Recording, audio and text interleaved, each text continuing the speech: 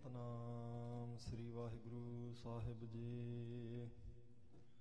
ਇੱਕ ਓੰਕਾਰ ਸਤਨਾਮ ਕਰਤਾ ਪੁਰਖ, ਨਿਰਭਉ, ਨਿਰਵੈਰ, ਅਕਾਲ ਮੂਰਤ, ਅਜੂਨੀ ਸੈਭੰ ਗੁਰ ਪ੍ਰਸਾਦ ਜਪ, ਆਦ ਸਚ, ਜੁਗਾਦ ਸਚ ਹੈ ਭੀ ਸਚ, ਨਾਨਕ ਹੋਸੀ ਭੀ ਸਚ। ਮਨ ਚਾਉ ਭਇਆ ਪ੍ਰਭ ਆਗਮ ਸੁਣਿਆ। ਹਰ ਮੰਗਲ ਗਾਉ ਸਖੀ ਗ੍ਰਹ ਮੰਦਰ ਬਣਿਆ। ਸੋਏ ਸੁਨੰਦੜੀ ਮੇਰਾ ਤਨ ਮਨ ਮੌਲਾ, ਨਾਮ ਜਪੰਦੜੀ ਲਾਲੀ। ਪੰਦ ਜੁਲੰਦੜੀ ਮੇਰਾ ਅੰਦਰ ਠੰਡਾ ਗੁਰ ਦਰਸ਼ਨ ਦੇਖ ਨਿਹਾਲੀ। ਸ੍ਰੀ ਹਰਿ ਕ੍ਰਿਸ਼ਨ ਧਿਆਈ ਐ, ਜਿਸ ਡਿਠੈ ਸਭ ਦੁਖ ਜਾਏ। ਤੇਗ ਬਹਾਦਰ ਸਿਮਰਿਆ, ਘਰ ਨਉ ਨਿਦ ਆਵੈ ਧਾਇ ਗੁਰ ਨਾਨਕ ਪਾਦ ਪੰਕਜ ਬੰਦਨ ਪਾਦ ਪੰਕਜ ਬੰਦਨ ਸਿਮਰਉ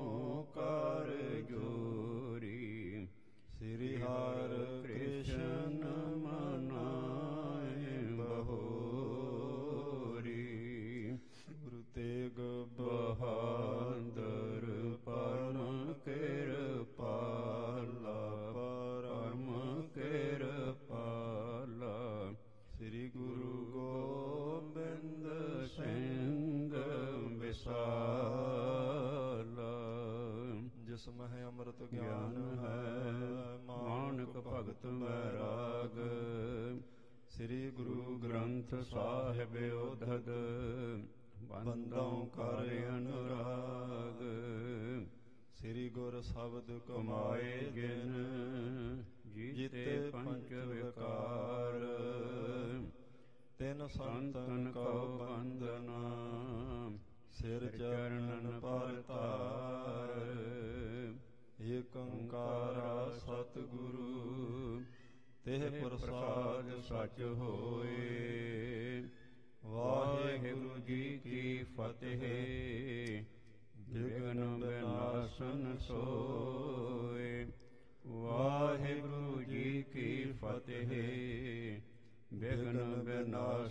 ਸੋਏ। ਸਤਨਾਮ। ਸ੍ਰੀ ਵਾਹਿਗੁਰੂ ਸਾਹਿਬ ਜੀ ਸਾਹਿਬ ਬੁੱਢਾ ਆਦ ਜੇ ਔਰ ਬੈਠੇ ਸਗਲ ਬਾਬਲੀ ਠੌਰ। ਚਿੰਤ ਮਾਨ ਚਿੰਤ ਮਹਿ ਅਤ ਸਾਰੇ ਗੁਰੂ ਨ ਆਵਹਿ ਵਹਿਰ ਦੁਆਰੇ। ਸਾਹਿਬ ਬੁੱਢਾ ਆਦ ਜੇ ਔਰ। ਵਾਹਿਗੁਰੂ ਜੀ ਕਾ ਖਾਲਸਾ। ਵਾਹਿਗੁਰੂ ਜੀ ਕੀ ਫਤਿਹ। ਸਤਿਗੁਰੂ ਜੀ ਦੀ ਸਾਜੀ ਨਵਾਜੀ ਪਰਮ ਸਨਮਾਨਯੋਗ ਗੁਰੂ ਖਾਲਸਾ ਸਾਧ ਸੰਗਤ ਜੀ। ਜਗਤ ਦੇ ਮਾਲਕ ਸਤਿਗੁਰੂ ਸ੍ਰੀ ਗੁਰੂ ਨਾਨਕ ਦੇਵ ਸਾਹਿਬ ਜੀ ਉਹਨਾਂ ਦੇ ਦਸੇ ਸਰੂਪ ਦਸਾਂ ਹੀ ਪਾਤਸ਼ਾਹੀਆਂ ਦੇ ਆਤਮਿਕ ਜੋ ਸਰੂਪ ਧੰਨ ਧੰਨ ਸਤਿਗੁਰੂ ਸ੍ਰੀ ਗੁਰੂ ਗ੍ਰੰਥ ਸਾਹਿਬ ਮਹਾਰਾਜ ਸੱਚੇ ਪਾਤਸ਼ਾਹ ਜੀ ਦੀ ਅਪਾਰ ਕਿਰਪਾਲਤਾ ਹੋਈ ਹੈ ਜੀ। ਆਪ ਗੁਰਮੁਖ ਜਨਾਂ ਨੇ ਸਤਿਗੁਰ ਸੱਚੇ ਪਾਤਸ਼ਾਹ ਜੀ ਦੀ ਕਲਿਆਣਕਾਰੀ ਗੋਦ ਦਾ ਨਿਗਮਾਨ ਦੇ ਹੋਏ ਗੁਰੂ ਘਰ ਦੀ ਹਾਜ਼ਰੀ ਭਰਦੇ ਹੋਏ ਅੱਜ ਧੰਨ ਧੰਨ ਸਤਿਗੁਰੂ ਸ੍ਰੀ ਗੁਰੂ ਹਰਕ੍ਰਿਸ਼ਨ ਸਾਹਿਬ ਮਹਾਰਾਜ ਸੱਚੇ ਪਾਤਸ਼ਾਹ ਜੀ ਦਾ ਪ੍ਰਕਾਸ਼ ਪੁਰਬ ਮਨਾਉਂਦਿਆਂ ਹੋਇਆਂ ਗੁਰੂ ਸਵਾਰਿਆਂ ਤੋਂ ਗੁਰੂ ਕੀ ਬਾਣੀ ਦੇ ਕੀਰਤਨ ਸਰਵਣ ਕਰਕੇ ਲਾਹਾ ਪ੍ਰਾਪਤ ਕੀਤਾ ਹੈ। ਲੜੀਵਾਰ ਗੁਰੂ ਅਧਿਆਤਿਕ ਕਥਾ ਆਪਾਂ ਰੋਜ਼ ਵਿਚਾਰਦੇ ਹਾਂ। ਅੱਜ ਵੀ ਵਿਚਾਰਾਂਗੇ, ਪਰ ਧੰਨ ਧੰਨ ਸਤਿਗੁਰੂ, ਸ੍ਰੀ ਗੁਰੂ ਹਰਿਕ੍ਰਿਸ਼ਨ ਸਾਹਿਬ ਸੱਚੇ ਪਾਤਸ਼ਾਹ ਜੀ ਦਾ ਪ੍ਰਕਾਸ਼ ਪੁਰਬ ਅੱਜ ਮਨਾਇਆ ਜਾ ਰਿਹਾ ਹੈ। ਸਵੇਰੇ ਸ੍ਰੀ ਖੰਡਪੜ ਸਾਹਿਬ ਜੀ ਦੇ ਭੋਗ ਪਏ ਸਨ, ਦਿਨ ਵੇਲੇ ਵੀ ਦੀਵਾਨ ਸੱਜੇ ਸਨ। ਹੁਣ ਵੀ ਸਤਿਗੁਰੂ, ਸ੍ਰੀ ਗੁਰੂ ਹਰਿਕ੍ਰਿਸ਼ਨ ਸਾਹਿਬ ਮਹਾਰਾਜ ਸੱਚੇ ਪਾਤਸ਼ਾਹ ਜੀ ਦੇ ਪਾਰ ਪਾਰਪਕਾਰਾਂ ਨੂੰ ਕੁਝ ਮਿੰਟਾਂ ਲਈ ਚੇਤੇ ਕਰੀਏ। ਫਿਰ ਲੜੀਵਾਰ ਕਥਾ ਆਪਾਂ ਉਸੇ ਤਰ੍ਹਾਂ ਪ੍ਰਾਰੰਭ ਕਰਾਂਗੇ, ਜਿਵੇਂ ਰੋਜ਼ ਆਪਾਂ ਵਿਚਾਰਦੇ ਹਾਂ। ਧੰਨ ਧੰਨ ਸਤਿਗੁਰੂ, ਸ੍ਰੀ ਗੁਰੂ ਹਰਿਕ੍ਰਿਸ਼ਨ ਸਾਹਿਬ ਮਹਾਰਾਜ, ਸੱਚੇ ਪਾਤਸ਼ਾਹ ਜੀ ਦਾ ਅਵਤਾਰ। ਸਾਵਣਵਦੀ 9 ਨੂੰ ਸੰਮਤ ਬਿਕਰਮੀ 1713 ਤੇ ਈਸਵੀ 1656 ਨੂੰ ਕੀਰਤਪੁਰ ਸਾਹਿਬ ਦੀ ਧਰਤੀ ਤੇ, ਜਿੱਥੇ ਆਇਆ ਇਸ ਵੇਲੇ ਗੁਰਦੁਆਰਾ ਸ਼ੀਸ਼ ਮਹੱਲ ਹੈ, ਜਿੱਥੇ ਪਹਿਲੀ ਵਾਰ ਜਾ ਕੇ ਛੇਵੇਂ ਪਾਤਸ਼ਾਹ ਜੀ ਬਰਾਜੇ ਸਨ, ਸੁਭਾਈਮਾਨ ਹੋਏ ਸਨ। ਉਸ ਪਾਵਨ ਪਿੱਤਰ ਸਥਾਨ ਤੇ ਅੱਠਵੇਂ ਪਾਤਸ਼ਾਹ ਜੀ ਦਾ ਪ੍ਰਕਾਸ਼, ਮਾਤਾ ਕ੍ਰਿਸ਼ਨ ਕੌਰ ਜੀ ਅਤੇ ਪਿਤਾ ਸਤਿਗੁਰੂ ਸ੍ਰੀ ਗੁਰੂ ਹਰਿ ਸਾਹਿਬ ਸੱਚੇ ਪਾਤਸ਼ਾਹ ਜੀ ਦੇ ਗ੍ਰਹਿ ਵਿਖੇ ਹੋਇਆ ਹੈ। ਉਹਨਾਂ ਤੋਂ ਵੱਡੇ ਸਤਵੇਂ ਪਾਤਸ਼ਾਹ ਜੀ ਦੇ ਸਾਹਿਬਜ਼ਾਦੇ ਬਾਬਾ ਰਾਮ ਰਾਏ ਜੀ ਹਨ। ਜਿਸ ਵੇਲੇ ਅੱਠਵੇਂ ਪਾਤਸ਼ਾਹ ਜੀ ਦਾ ਪ੍ਰਕਾਸ਼ ਹੋਇਆ, ਉਸ ਵੇਲੇ ਸਤਵੇਂ ਪਾਤਸ਼ਾਹ ਜੀ ਨੇ ਆਖਿਆ ਸੀ, ਇਹ ਭਾਰੀ ਕਰਨੀ ਦੇ ਮਾਲਕ ਹੋਣਗੇ। ਮਹਾਰਾਜ ਜੀ ਦੀ ਦੇਖ ਰੇਖ ਹੇਠ ਸਤ- ਸਤਿਗੁਰੂ ਸ੍ਰੀ ਗੁਰੂ ਹਰਿਕ੍ਰਿਸ਼ਨ ਸਾਹਿਬ ਸੱਚੇ ਪਾਤਸ਼ਾਹ ਜੀ ਦੀ ਪਾਲਣਾ ਹੋਈ ਜਦੋਂ ਅਜੇ ਥੋੜਾ ਸਰੀਰ ਬੈਠਣ ਯੋਗ ਹੋਇਆ ਸੀ ਉਦੋਂ ਹੀ ਚੌਂਕੜਾ ਮਾਰ ਕੇ ਮਹਾਰਾਜ ਜੀ ਦੀ ਹਜ਼ੂਰੀ ਵਿੱਚ ਅਡੋਲ ਚਿੱਤ ਬੈਠਣ ਲੱਗ ਪਏ ਸਨ ਅੱਠਵੇਂ ਪਾਤਸ਼ਾਹ ਜੀ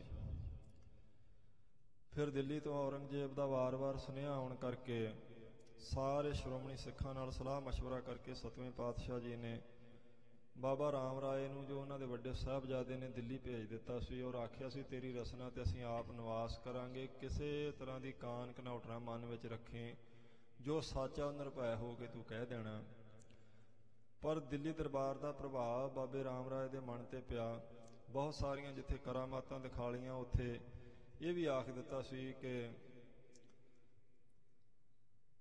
ਜਦੋਂ ਉਹਨਾਂ ਨੇ ਆਖਿਆ ਵੀ ਤੁਹਾਡੇ ਵੱਡਿਆਂ ਨੇ ਬਾਣੀ ਵਿੱਚ ਉਚਾਰਨ ਕੀਤਾ, ਮਿੱਟੀ ਮੁਸਲਮਾਨ ਕੀ ਪੇੜੈ ਪਈ ਘੁਮਿਆਰ ਤੇ ਆਖਿਆ, ਨਹੀਂ ਜੀ, ਪਾਠ ਤਾਂ ਮਿੱਟੀ ਬੇਈਮਾਨ ਕੀ ਹੈ।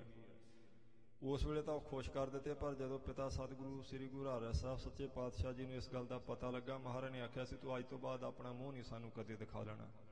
ਸਾਰੀ ਜ਼ਿੰਦਗੀ ਵਾਸਤੇ ਅਸੀਂ ਤੈਨੂੰ ਤਿਆਗ ਦਿੱਤਾ। ਕਾਫੀ ਵਾਰ ਉਹਨੇ ਮਾਫੀਆਂ ਵੀ ਮੰਗੀਆਂ ਸਨ, ਪਰ ਮਹਾਰਾਜ ਨੇ ਆਖਿਆ ਹਰ ਇੱਕ ਭੁੱਲ ਦੀ ਮਾਫੀ ਮਿਲ ਸਕਦੀ ਸੀ ਤੈਨੂੰ। ਪਰ ਇਹ ਜਿਹੜਾ ਗੁਰੂ ਕੀ ਬਾਣੀ ਨੂੰ ਤੂੰ ਬਦਲਣ ਦਾ ਯਤਨ ਕੀਤਾ, ਉਹਦਾ ਪ੍ਰਭਾਵ ਮੰਨ ਕੇ ਇਸ ਗੱਲ ਦੀ ਮਾਫੀ, ਬਾਣੀ ਤੇ ਹਮਲਾ ਕਰਨ ਦੀ ਮਾਫੀ ਭਾਵੇਂ ਤੂੰ ਸਾਡਾ ਸਕਾ ਪੁੱਤਰ ਹੈ ਤੈਨੂੰ ਨਹੀਂ ਮਿਲੇਗੀ। ਇਸ ਕਰਕੇ ਜਦੋਂ ਸਤਵੇਂ ਪਾਤਸ਼ਾਹ ਜੀ ਦਾ ਫਿਰ ਸੱਚਖੰਡ ਜਾਣ ਦਾ ਸਮਾਂ ਆਇਆ ਉਦੋਂ ਤੋਂ ਪਹਿਲਾਂ ਮਹਾਰਾਜ ਸੱਚੇ ਪਾਤਸ਼ਾਹ ਜੀ ਨੇ ਆਪਣੇ ਛੋਟੇ ਸਾਹਿਬਜ਼ਾਦੇ ਸਤਿਗੁਰੂ ਸ੍ਰੀ ਗੁਰੂ ਹਰਕ੍ਰਿਸ਼ਨ ਸਾਹਿਬ ਜੀ ਨੂੰ ਗੁਰਤਾ ਗੱਦੀ ਦੇ ਸੰਘਾਸਨ ਤੇ ਸੁਭਾਇਮਾਨ ਕੀਤਾ।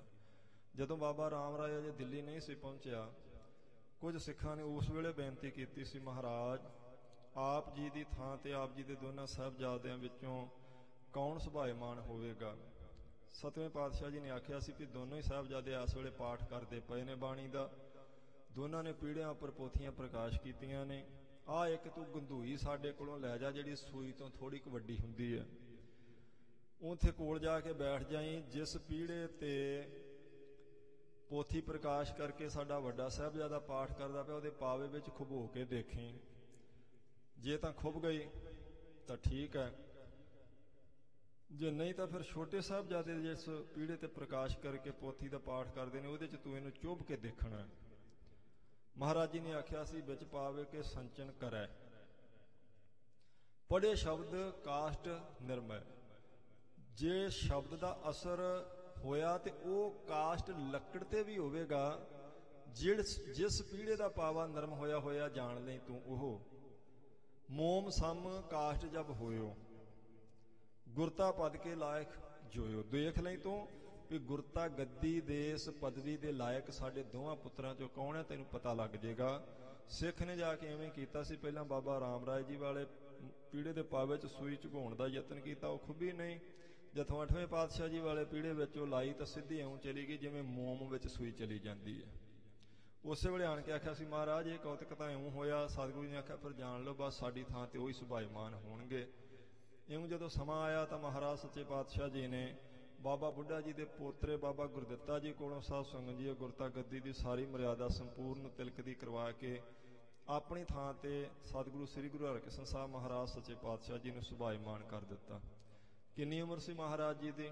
1656 ਦਾ ਉਹਨਾਂ ਦਾ ਅਵਤਾਰ ਹੈ ਔਰ 1661 ਵਿੱਚ ਉਹਨਾਂ ਨੂੰ ਗੁਰਤਾ ਗੱਦੀ ਦੇ ਸੰਘਾਸਨ ਤੇ ਸੁਭਾਇਮਾਨ ਕੀਤਾ ਸੀ। ਹੁਣ ਜੇ ਦੁਨਿਆਵੀ ਨਜ਼ਰ ਨਾਲ ਦੇਖਿਆ ਜਾਏ ਤੇ ਸਿਰਫ 5 ਸਾਲ ਦੀ ਉਮਰ ਬਣਦੀ ਹੈ ਬੜੀ ਹੈਰਾਨੀ ਹੁੰਦੀ ਜੇ ਉਮਰ ਵੱਲ ਦੇਖਾਂਗੇ ਤਾਂ ਵਾਕਈ ਹੈਰਾਨੀ ਹੋਵੇਗੀ। ਪਰ ਜੇ ਜੋਤ ਵੱਲ ਦੇਖਾਂਗੇ ਫਿਰ ਕੋਈ ਅਚਰਜਤਾ ਨਹੀਂ ਹੈਗੀ। ਕਿਉਂਕਿ ਜੋਤ ਉਹ ਜੁਗਤ ਸਾਇ ਸਹਕਾਇਆ ਫਿਰ ਪਲਟੀ ਹੈ। ਜੋਤ ਤਾਂ ਗੁਰੂ ਨਾਨਕ ਪਾਤਸ਼ਾਹ ਜੀ ਵਾਲੀ ਆ ਜੁਗਤ ਵੀ ਉਹੀ ਹੈ, ਸਮਰੱਥਾ ਵੀ ਉਨੀ ਹੈ। ਕਿਰਪਾ ਵੀ ਉਹੀ ਕਰਦੇ ਨੇ, ਉਹੀ ਧੀਰਜ ਹੈ, ਉਹੀ ਸੰਤੋਖ ਹੈ, ਉਹੀ ਬਾਣੀ ਦਾ ਰਸ ਹੈ, ਉਹੀ ਵਾਕਾਂ ਦੀ ਸਿੱਧੀ ਹੈ। ਉਹੀ ਬਚਨਾਂ ਦੀ ਸਿੱਧੀ ਆ ਜਿਹੜੀ ਗੁਰੂ ਨਾਨਕ ਪਾਤਸ਼ਾਹ, ਗੁਰੂ ਅੰਗਦ ਦੇਵ, ਗੁਰੂ ਅਮਰਦਾਸ ਮਹਾਰਾਜ ਜੀ ਵੇਲੇ, ਉਹੀ ਅੱਠਵੇਂ ਪਾਤਸ਼ਾਹ ਜੀ ਦੇ ਵੇਲੇ। ਇਸ ਕਰਕੇ ਕੋਈ ਸ਼ੰਕਾ ਰਹਿ ਨਹੀਂ ਸੀ ਗਿਆ ਫਿਰ ਜਦੋਂ ਸਤਵੇਂ ਪਾਤਸ਼ਾਹ ਜੀ ਨੇ ਸੱਚਖੰਡ ਪਿਆਨਾ ਕੀਤਾ ਤੇ ਆਖ ਦਿੱਤਾ ਸੀ ਵੀ ਯਤਨ ਕਰੇਗਾ ਔਰੰਗਜ਼ੇਬ, ਪਰ ਤੁਸੀਂ ਮੱਥੇ ਨਹੀਂ ਲੱਗਣਾ ਉਸ ਦੇ। ਸਾਰੀ ਉਮਰ ਇਸ ਬਚਨ ਦਾ ਪਾਲਣ ਕਰਨਾ। ਜਦੋਂ ਰਾਮ ਰਾਏ ਦੇ ਕਹਿਣ ਤੇ ਔਰੰਗਜ਼ੇਬ ਨੇ ਵਾਰ-ਵਾਰ ਇਹ ਬੇਨਤੀਆਂ ਭੇਜੀਆਂ, ਜੀ ਤੁਸੀਂ ਦਿੱਲੀ ਆਓ, ਮਹਾਰਾਜ ਜੀ ਨੇ ਕਹਿ ਦਿੱਤਾ ਸੀ ਨਹਿ ਮਲੇਸ਼ ਕੋ ਦਰਸ਼ਨ ਦਹਿ ਹੋਏ ਸਮੀਪ, ਤੋ ਨਹਿ ਤੇ ਸੁਲੈ ਹੈ ਪਿਤਾ ਸਤਿਗੁਰੂ ਜੀ ਦਾ ਇਹ ਨੇਮ ਸੀ, ਇਹੀ ਨੇਮ ਪਿਤਰ ਪਿਤ ਹਮ ਧਾਰੇ। ਆਖਿਆ ਜੀ, ਸਾਡੇ ਪਿਤਾ ਜੀ ਨੇ ਨੇਮ ਨਿਭਾਇਆ ਤੇ ਸਾਡੇ ਲਈ ਹੁਕਮ ਕਰ ਦਿੱਤਾ, ਮਲੇਸ਼ ਨੂੰ ਦਰਸ਼ਨ ਨਹੀਂ ਦੇਣੇ, ਜੇ ਉਹ ਸਮੀਪ ਹੋਣ ਦਾ ਯਤਨ ਕਰੇ ਤੇ ਤਾਂ ਵੀ ਮੱਥੇ ਨਹੀਂ ਲੱਗਣ ਦੇਣਾ। ਇਸ ਕਰਕੇ ਅਸੀਂ ਨਹੀਂ ਆਵਾਂਗੇ। ਪਰ ਫਿਰ ਔਰੰਗਜ਼ੇਬ ਨੇ ਰਾਜਾ ਜੈ ਸਿੰਘ ਨੂੰ ਆਖਿਆ ਸੀ, ਉਹਨੇ ਬੇਨਤੀ ਕੀਤੀ, ਮਹਾਰਾਜ ਠੀਕ ਹੈ। ਆਪ ਜੀ ਦਾ ਇਹ ਪ੍ਰਾਣ ਹੈ ਵੀ ਅਰੰਗੇ ਦੇ ਮੱਥੇ ਨਹੀਂ ਲੱਗਣਾ, ਪਰ ਦਿੱਲੀ ਦੀਆਂ ਸੰਗਤਾਂ ਨੂੰ ਤਾਂ ਦਰਸ਼ਨ ਬਖਸ਼ ਸਕਦੇ ਨਾ। ਆਪ ਜੀ ਕਿਰਪਾ ਕਰੋ। ਉਹਨਾਂ ਨੂੰ ਦਰਸ਼ਨ ਬਖਸ਼ੋ। ਮਹਾਰਾਜ ਨੇ ਆਖਿਆ, ਸੰਗਤ ਦੀ ਬੇਨਤੀ ਅਸੀਂ ਕਦੇ ਵੀ ਨਹੀਂ ਮੋੜਦੇ। ਪਰ ਜੈ ਸਿੰਘ ਇਹ ਖਿਆਲ ਰੱਖ ਲਈ ਵੀ ਔਰੰਗਜ਼ੇਬ ਨੂੰ ਸਾਡੇ ਮੱਥੇ ਲਾਉਣ ਦਾ ਤੂੰ ਯਤਨ ਨਹੀਂ ਕਰਨਾ। ਉਹਨੇ ਆਖਿਆ ਸਤ ਬਚਨ ਜੀ, ਮਹਾਰਾਜ ਆਪ ਇਦਾਂ ਹੀ ਹੋਵੇਗਾ। ਸਤਿਗੁਰੂ ਸ੍ਰੀ ਗੁਰੂ ਹਰਕ੍ਰਿਸ਼ਨ ਸਾਹਿਬ ਮਹਾਰਾਜ, ਸੱਚੇ ਪਾਤਸ਼ਾਹ ਜੀ, ਕੀਰਤਪੁਰ ਤੋਂ ਚੱਲੇ ਸਨ ਤੇ ਪਹਿਲਾ ਪੜਾਅ ਰੋਪੜ ਉਹਨਾਂ ਨੇ ਕੀਤਾ, ਜਿੱਥੇ ਕਾਬਲ ਦੀ ਸੰਗਤ ਦਾ ਸੁਨੇਹਾ ਮਿਲਿਆ ਸੀ। ਮਹਾਰਾਜ, ਸੰਗਤ ਦਾ ਦਰਸ਼ਨ ਕਰਨ ਆ ਰਹੀ ਸੀ। ਪਤਾ ਲੱਗਾ ਉਹ ਪਿੰਡਾਂ ਵਿੱਚੋਂ ਵੀ ਆਪ ਜੀ ਨੇ ਦਿੱਲੀ ਜਾਣ ਦੀ ਤਿਆਰੀ ਕੀਤੀ। ਆ ਇੱਕ ਸਿੱਖ ਉਹਨਾਂ ਨੇ ਭੇਜਿਆ ਵੀ ਮਹਾਰਾਜ ਜੀ ਨੂੰ ਬੇਨਤੀ ਕਰੋ, ਸਾਨੂੰ ਦਰਸ਼ਨ ਬਖਸ਼ ਦਿਓ, ਨਹੀਂ ਤੇ ਸਾਨੂੰ ਦਿੱਲੀ ਆਉਣਾ ਪਵੇਗਾ। ਰੋਪੜੋਂ ਸਾਰੀ ਸੰਗਤ ਆਈ ਸੀ। ਉਹਨਾਂ ਨੇ ਦਰਸ਼ਨ ਮੇਲੇ ਕੀਤੇ। ਫਿਰ ਸਤਿਗੁਰੂ ਜੀ ਨੇ ਕੁਝ ਕੀਰਤਪੁਰ ਦੀਆਂ ਸੰਗਤਾਂ ਔਰ ਰੋਪੜ ਉਹ ਆਈਆਂ ਹੋਈਆਂ ਸੰਗਤਾਂ ਨੂੰ ਪਿੱਛੇ ਮੋੜ ਦਿੱਤਾ ਸੀ। ਕੁਝ ਸ਼੍ਰੋਮਣੀ ਸਿੱਖ ਮਹਾਰਾਜ ਜੀ ਦੇ ਨਾਲ ਗਏ ਸਨ, ਜਿਨ੍ਹਾਂ ਵਿੱਚ ਭਾਈ ਦਿਆਲਾ ਜੀ ਵੀ ਨੇ ਜਿਹੜੇ ਭਾਈ ਮਨੀ ਸਿੰਘ ਦੇ ਸਾਧ ਸੰਗਤ ਜੀ ਭਰਾ ਨੇ, ਭਾਈ ਮਨੀ ਸਿੰਘ ਜੀ ਸਤਵੇਂ ਪਾਤਸ਼ਾਹ ਜੀ ਦੀ ਹਜ਼ੂਰੀ ਵਿੱਚ ਪਹਿਲੀ ਵਾਰ ਗੁਰੂ ਦਰਬਾਰ ਵਿੱਚ ਆਏ ਸਨ। ਭਾਈ ਬੱਲੂ ਜੀ ਦੇ ਸਾਧ ਸੰਗਤ ਜੀ ਸੁਪੁੱਤਰ ਭਾਈ ਮਾਈ ਦਾਸ ਜੀ, ਇਹ ਐਸਾ ਘਰਾਣਾ ਸੀ ਭਾਈ ਮਨੀ ਸਿੰਘ ਜੀ ਦਾ ਜਿਹੜਾ ਛੇਵੇਂ ਪਾਤਸ਼ਾਹ ਜੀ ਦੇ ਸਮੇਂ ਤੋਂ ਗੁਰੂ ਘਰ ਨਾਲ ਜੁੜਿਆ ਹੋਇਆ ਔਰ ਬਹੁਤ ਹੀ ਅਨੰਨ ਸਿੱਖ ਸਾਨੇ ਗੁਰੂ ਘਰ ਦੇ। ਐਸੇ ਕੁਝ ਮਹਾਨ ਸਿੱਖਾਂ ਨੂੰ ਅੱਠਵੇਂ ਪਾਤਸ਼ਾਹ ਜੀ ਸਾਧ ਸੰਗਤ ਜੀ ਨਾਲ ਲੈ ਕੇ ਗਏ ਸਨ। ਪਰ ਕੁਝ ਸਿੱਖਾਂ ਦੇ ਮਨ 'ਚ ਇਹ ਵੀ ਸੀ ਭਈ ਇਹ ਇੰਨੀ ਛੋਟੀ ਉਮਰ ਇੰਨੀ ਸਮਰੱਥਾ ਕਿਵੇਂ ਹੋ ਸਕਦੀ ਹੈ? ਕੁਝ ਮਨ 'ਚ ਐਸੇ ਵਿਚਾਰ ਸਾਧ ਸੰਗਤ ਜੀ ਆਏ ਸਨ, ਪਰ ਗੁਰੂ ਘਰ ਵਿੱਚ ਕਹਿੰਦੇ, ਉਮਰ ਦਾ ਗੁਰਮੁਖੋ ਕੋਈ ਤਕਾਜ਼ਾ ਨਹੀਂ ਹੁੰਦਾ। ਜਿਹੜੀ ਜੋਤ ਹੈ, ਉਹ ਕਿਸੇ ਵੀ ਸਰੀਰ ਵਿੱਚ ਵਰਤ ਕੇ ਪੂਰੀ ਸਮਰੱਥਾ ਵਿਖਾਲਦੀ ਹੈ। ਮਹਾਰਾਜ ਜੀ ਦੇ ਪਵਿੱਤਰ ਬਚਨ ਨੇ ਪੰਜ ਬਰਖ ਕੋ ਅਨਾਥ ਧਰੂਬਾਰ ਘਰ ਸਿਮਰਤ ਅਮਰ ਅਟਾਰੇ। ਕਹਿੰਦੇ, ਦੇਖੋ 5 ਸਾਲ ਦਾ ਜਿਹੜਾ ਭਗਤ ਧਰੂ ਹੈ ਹਰੀ ਨੂੰ ਸਿਮਰ ਕੇ ਅਟਲ ਪਦਵੀ ਨੂੰ ਨੇ ਪ੍ਰਾਪਤ ਕਰ ਲਿਆ। ਗੁਰੂ ਗ੍ਰੰਥ ਸਾਹਿਬ ਮਹਾਰਾਜ ਜੀ ਦੀ ਪਵਿੱਤਰ ਬਾਣੀ ਹੈ। ਜੇ 5 ਸਾਲ ਦਾ ਧਰੂ ਬ੍ਰਹਮ ਗਿਆਨੀ ਭਗਤ ਹੋ ਸਕਦਾ ਹੈ, ਜੇ 5 ਸਾਲ ਦਾ ਪ੍ਰਲਾਦ ਪੂਰਾ ਭਗਤ ਹੋ ਸਕਦਾ ਬ੍ਰਹਮ ਗਿਆਨੀ ਹੋ ਸਕਦਾ ਹੈ, ਮਹਾਰਾਜ ਜੀ ਨੇ ਬਚਨ ਕੀਤੇ RAM ਜਪੋ ਜੀ ਐਸੇ ਐਸੇ, ਧਰੂ ਪ੍ਰਲਾਦ ਜਪਿਓ ਹਰ ਜੈਸੇ। ਕਹਿੰਦੇ, ਜਿੰਨੀ ਪ੍ਰੀਤੀ ਨਾਲ ਧਰੂ ਤੇ ਪ੍ਰਲਾਦ ਨੇ ਪਰਮੇਸ਼ਰ ਨੂੰ ਜਪਿਆ ਗੁਰਮੁਖੋ ਐਵੇਂ ਜਪਣਾ ਚਾਹੀਦਾ। ਜੇ ਉਹ 5-5 ਸਾਲ ਦੇ ਪੂਰਨ ਭਗਤ ਹੋ ਸਕਦੇ ਆ ਤੇ 5 ਸਾਲ ਦੇ ਸੱਚੇ ਪਾਤਸ਼ਾਹ ਜੀ ਪੂਰੇ ਗੁਰੂ ਕਿਵੇਂ ਨਹੀਂ ਹੋ ਸਕਦੇ ਜੀ? ਇਸੇ ਕੁਝ ਗੁਰੂ ਦਾ ਉਵੇਂ ਵੀ ਸਾਧ ਸੰਗਤ ਜੀ ਫ਼ਰਕ ਹੁੰਦਾ।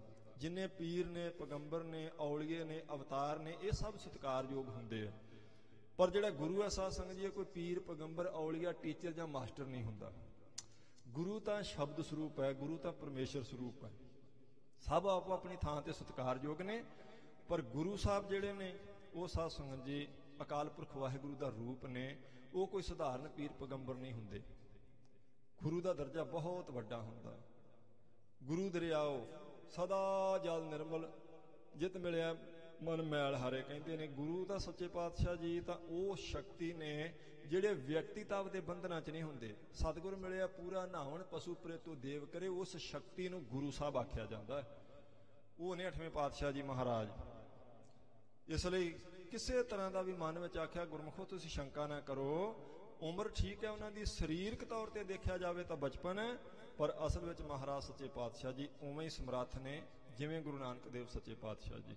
ਜਦੋਂ ਰੋਪੜ ਤੋਂ ਅੱਗੇ ਗਏ, ਪੰਜੋਖਰਾ ਸਾਹਿਬ ਗਏ, ਸਾਰਿਆਂ ਨੂੰ ਆਪਾਂ ਨੂੰ ਉਸ ਸਾਖੀ ਦਾ ਪਤਾ, ਪਰ ਇੱਥੇ ਫਿਰ ਆਪਾਂ ਦੁਹਰਾਵਾਂਗੇ, ਹੰਕਾਰੀ ਲਾਲ ਚੰਦ ਨੇ ਆਣ ਕੇ ਸਾਧ ਸੰਗਤ ਜੀ ਮਹਾਰਾਜ ਜੀ ਦੀ ਉਮਰ ਦੇਖ ਕੇ ਹੀ ਤਰਕ ਕੀਤਾ ਸੀ, ਭਈ ਇੰਨੀ ਛੋਟੀ ਉਮਰ 'ਚ ਇੰਨੇ ਸਮਰੱਥ ਗੁਰੂ ਕਿਵੇਂ ਹੋ ਸਕਦੇ, ਔਰ ਨਾਮ ਵੀ ਸਤਿਗੁਰੂ ਸ੍ਰੀ ਗੁਰੂ ਹਰਕ੍ਰਿਸ਼ਨ ਸਾਹਿਬ ਮਹਾਰਾਜ ਸਿੱਖ ਕਹਿੰਦੇ ਨੇ। ਉਹਨੇ ਆਣ ਕੇ ਆਖਿਆ ਸੀ, ਪਹਿਲਾਂ ਇੱਕ ਸਿੱਖ ਨੂੰ ਆਖਿਆ ਸੀ, ਇਹ ਤਰਕ ਦਾ ਬਚਨ, ਭਈ 5 ਸਾਲ ਦੀ ਉਮਰ ਦੇ ਸਮਰੱਥ ਗੁਰੂ ਨਹੀਂ ਹੋ ਸਕਦੇ। ਕ੍ਰਿਸ਼ਨ ਜੀ ਦ੍ਰਿ- ਦ- ਦੁਆਪਰ ਦੇ ਅਵਤਾਰ ਸਨ, ਉਹਨਾਂ ਨੇ ਗੀਤਾ ਉਚਾਰਨ ਕੀਤੀ, ਜੇ ਪੂਰੇ ਗੁਰੂ ਨੇ ਕਿਸੇ ਗੀਤਾ ਦੇ ਇੱਕ ਸ਼ਲੋਕ ਦੇ ਅਰਥ ਕਰਕੇ ਦੱਸ ਦੇਣ, ਮੈਂ ਮੰਨ ਜਾਗਾ। ਇੰਨਾ ਹੰਕਾਰੀ ਸੀ। ਸਿੱਖ ਨੇ ਆਣ ਕੇ ਮਹਾਰਾਜ ਨੂੰ ਆਖਿਆ, ਤੇ ਮਹਾਰਾਜ ਨੇ ਆਖਿਆ, ਕੋਈ ਨਹੀਂ ਭਾਈ, ਉਹਦੇ ਗਿਆਨ ਰੂਪੀ ਨੇਤਰਾਂ ਵਿੱਚ ਜਿਹੜਾ ਹੰਕਾਰ ਦਾ ਫੋਲੀਆ ਹੋ ਗਿਆ, ਇਸ ਕਰਕੇ ਉਹਨੂੰ ਤੁਸੀਂ ਲੈ ਕੇ ਆਓ, ਕੋਈ ਨਹੀਂ ਆਪਾਂ ਉਹਦੇ ਨਾਲ ਗੱਲ ਕਰਾਂਗੇ। ਜਦੋਂ ਆਇਆ ਆਣ ਕੇ ਮਹਾਰਾਜ ਜੀ ਨੂੰ ਮੱਥਾ ਵੀ ਨਹੀਂ ਸੀ ਟੇਕਿਆ ਤੇ ਤੇਜੀ ਤੇਜੀ ਮਹਾਰਾਜ ਜੀ ਨੂੰ ਤਿੰਨ ਚਾਰ ਪ੍ਰਸ਼ਨ ਕੀਤੇ। ਉਹਦੀ ਤੇਜੀ ਪ੍ਰਸ਼ਨ ਦੇਖ ਕੇ ਮਹਾਰਾਜ ਨੇ ਆਖਿਆ, ਇਹ ਤੇ ਮੂਰਖ ਹੈ ਭਾਈ। ਆਖਿਆ ਸੀ, ਤੈਨੂੰ ਜੇ ਅਸੀਂ ਜਵਾਬ ਦੇਵਾਂਗੇ ਨਾ, ਤੇਰੀ ਤਸੱਲੀ ਨਹੀਂ ਹੋਣੀ।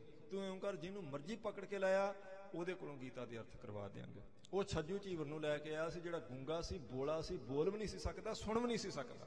ਸਿਰਫ ਇਸੇ ਕਰਕੇ ਲੈ ਕੇ ਆਇਆ ਸੀ ਵੀ ਮਹਾਰਾਜ ਦੀ ਹੇਠੀ ਕਰਾਂਗਾ, ਸਾਰੇ ਇੰਨੀ ਸਿੱਖ ਸੰਗਤ ਦੇ ਸਾਹਮਣੇ। ਉਹਨੇ ਕਿਹਾ, ਮਹਾਰਾਜ, ਮੈਨੂੰ ਤਾਂ ਇਹੀ ਲੱਭਾ। ਜਿਹੜਾ ਲੋਕਾਂ ਦੇ ਘਰਾਂ 'ਚ ਪਾਣੀ ਭਰ ਕੇ ਆਪਣਾ ਗੁਜ਼ਾਰਾ ਕਰਦਾ ਸੀ, ਗੁਰੂ ਸਾਹਿਬ ਜੀ ਨੇ ਆਖਿਆ ਇਹਦਾ ਉੱਥੇ ਇਸ਼ਨਾਨ ਕਰਵਾਓ, ਜਿੱਥੇ ਅਸੀਂ ਇਸ਼ਨ- ਇਸ਼ਨਾਨ ਕੀਤਾ ਸੀ। ਜਿੱਥੇ ਹੁਣ ਸਰੋਵਰ ਹੈ ਪੰਜੋਖਰਾ ਸਾਹਿਬ, ਪਵਿੱਤਰ ਸਥਾਨ ਦਾ, ਉੱਥੇ ਮਹਾਰਾਜ ਜੀ ਨੇ ਇਸ਼ਨਾਨ ਕੀਤਾ ਸੀ, ਉੱਥੇ ਛੱਜੂ ਦਾ ਸਾਧ ਜੀ ਇਸ਼ਨਾਨ ਕਰਾਇਆ, ਉਸੇ ਸਰੋਵਰ ਦੀ ਸੇਵਾ, ਉਹਦੇ ਕਿਨਾਰੇ ਪੱਕੇ ਸੰਤ ਬਾਬਾ ਗੁਰਬਚਨ ਸਿੰਘ ਜੀ ਖਾਲਸਾ ਪਿੰਡਰਾਂ ਵਾਲਿਆਂ ਨੇ ਕਰਵਾਏ ਸਨ, ਆਪ ਸੇਵਾ ਕਰਵਾ ਕੇ। ਜਦੋਂ ਉਹਦਾ ਛੱਜੂ ਦਾ ਇਸ਼ਨਾਨ ਕਰਵਾ ਕੇ ਲਿਆਂਦਾ, ਸੋਹਣੇ ਵਸਤਰ ਪਾਏ ਤੇ ਮਹਾਰਾਜ ਨੇ ਆਖਿਆ ਸੀ, ਛੱਜੂ, ਇਹ ਤੇਰੇ ਨਾਲ ਕੁਝ ਸਵਾਲ ਜਵਾਬ ਕਰਨਾ ਚਾਹੁੰਦਾ, ਪੰਡਤ। ਪਹਿਲੀ ਵਾਰ ਛਜੂ ਆਪਣੀ ਜ਼ੁਬਾਨ ਤੋਂ ਕੁਝ ਬੋਲਿਆ ਤੇ ਉਹਨੇ ਪੰਡਤ ਲਾਲ ਚੰਦ ਵੱਲ ਮੁਖ ਕਰਕੇ ਆਖਿਆ ਸੀ, ਕਾਸਵੇਨ ਸ਼ਾਸਤਰੰਗ ਪਰਵਰਤਨ। ਕਿਹੜੇ ਸ਼ਾਸਤਰ ਬਾਰੇ ਚਰਚਾ ਕਰਨੀ ਚਾਹੁੰਦੇ ਜੇ ਪੰਡਤ ਜੀ? ਉਦੋਂ ਹੀ ਪੰਡਤ ਲਾਲ ਚੰਦ ਦਾ ਹੰਕਾਰ ਸਾਧ ਸੰਗਤ ਜੀ ਅਸਲ 'ਚ ਲੱਥ ਗਿਆ ਸੀ, ਪਰ ਤਸੱਲੀ ਕਰਨ ਵਾਸਤੇ ਉਹਨੇ ਫਿਰ ਕੁਝ ਦੋ ਚਾਰ ਸਵਾਲ ਕੀਤੇ। ਜਦੋਂ ਛੱਜੂ ਨੇ ਪੂਰੇ ਜਵਾਬ ਤੇ ਕਿਉਂਕਿ ਅਠਵੇਂ ਪਾਤਸ਼ਾਹ ਜੀ ਨੇ ਜਦੋਂ ਆਪਣੇ ਹੱਥ ਦੀ ਛੜੀ ਉਹਦੇ ਸਿਰ ਤੇ ਰੱਖੀ, ਸਾਰੀ ਵਿੱਦਿਆ ਅੰਦਰੋਂ ਨਿਕਲ ਆਈ।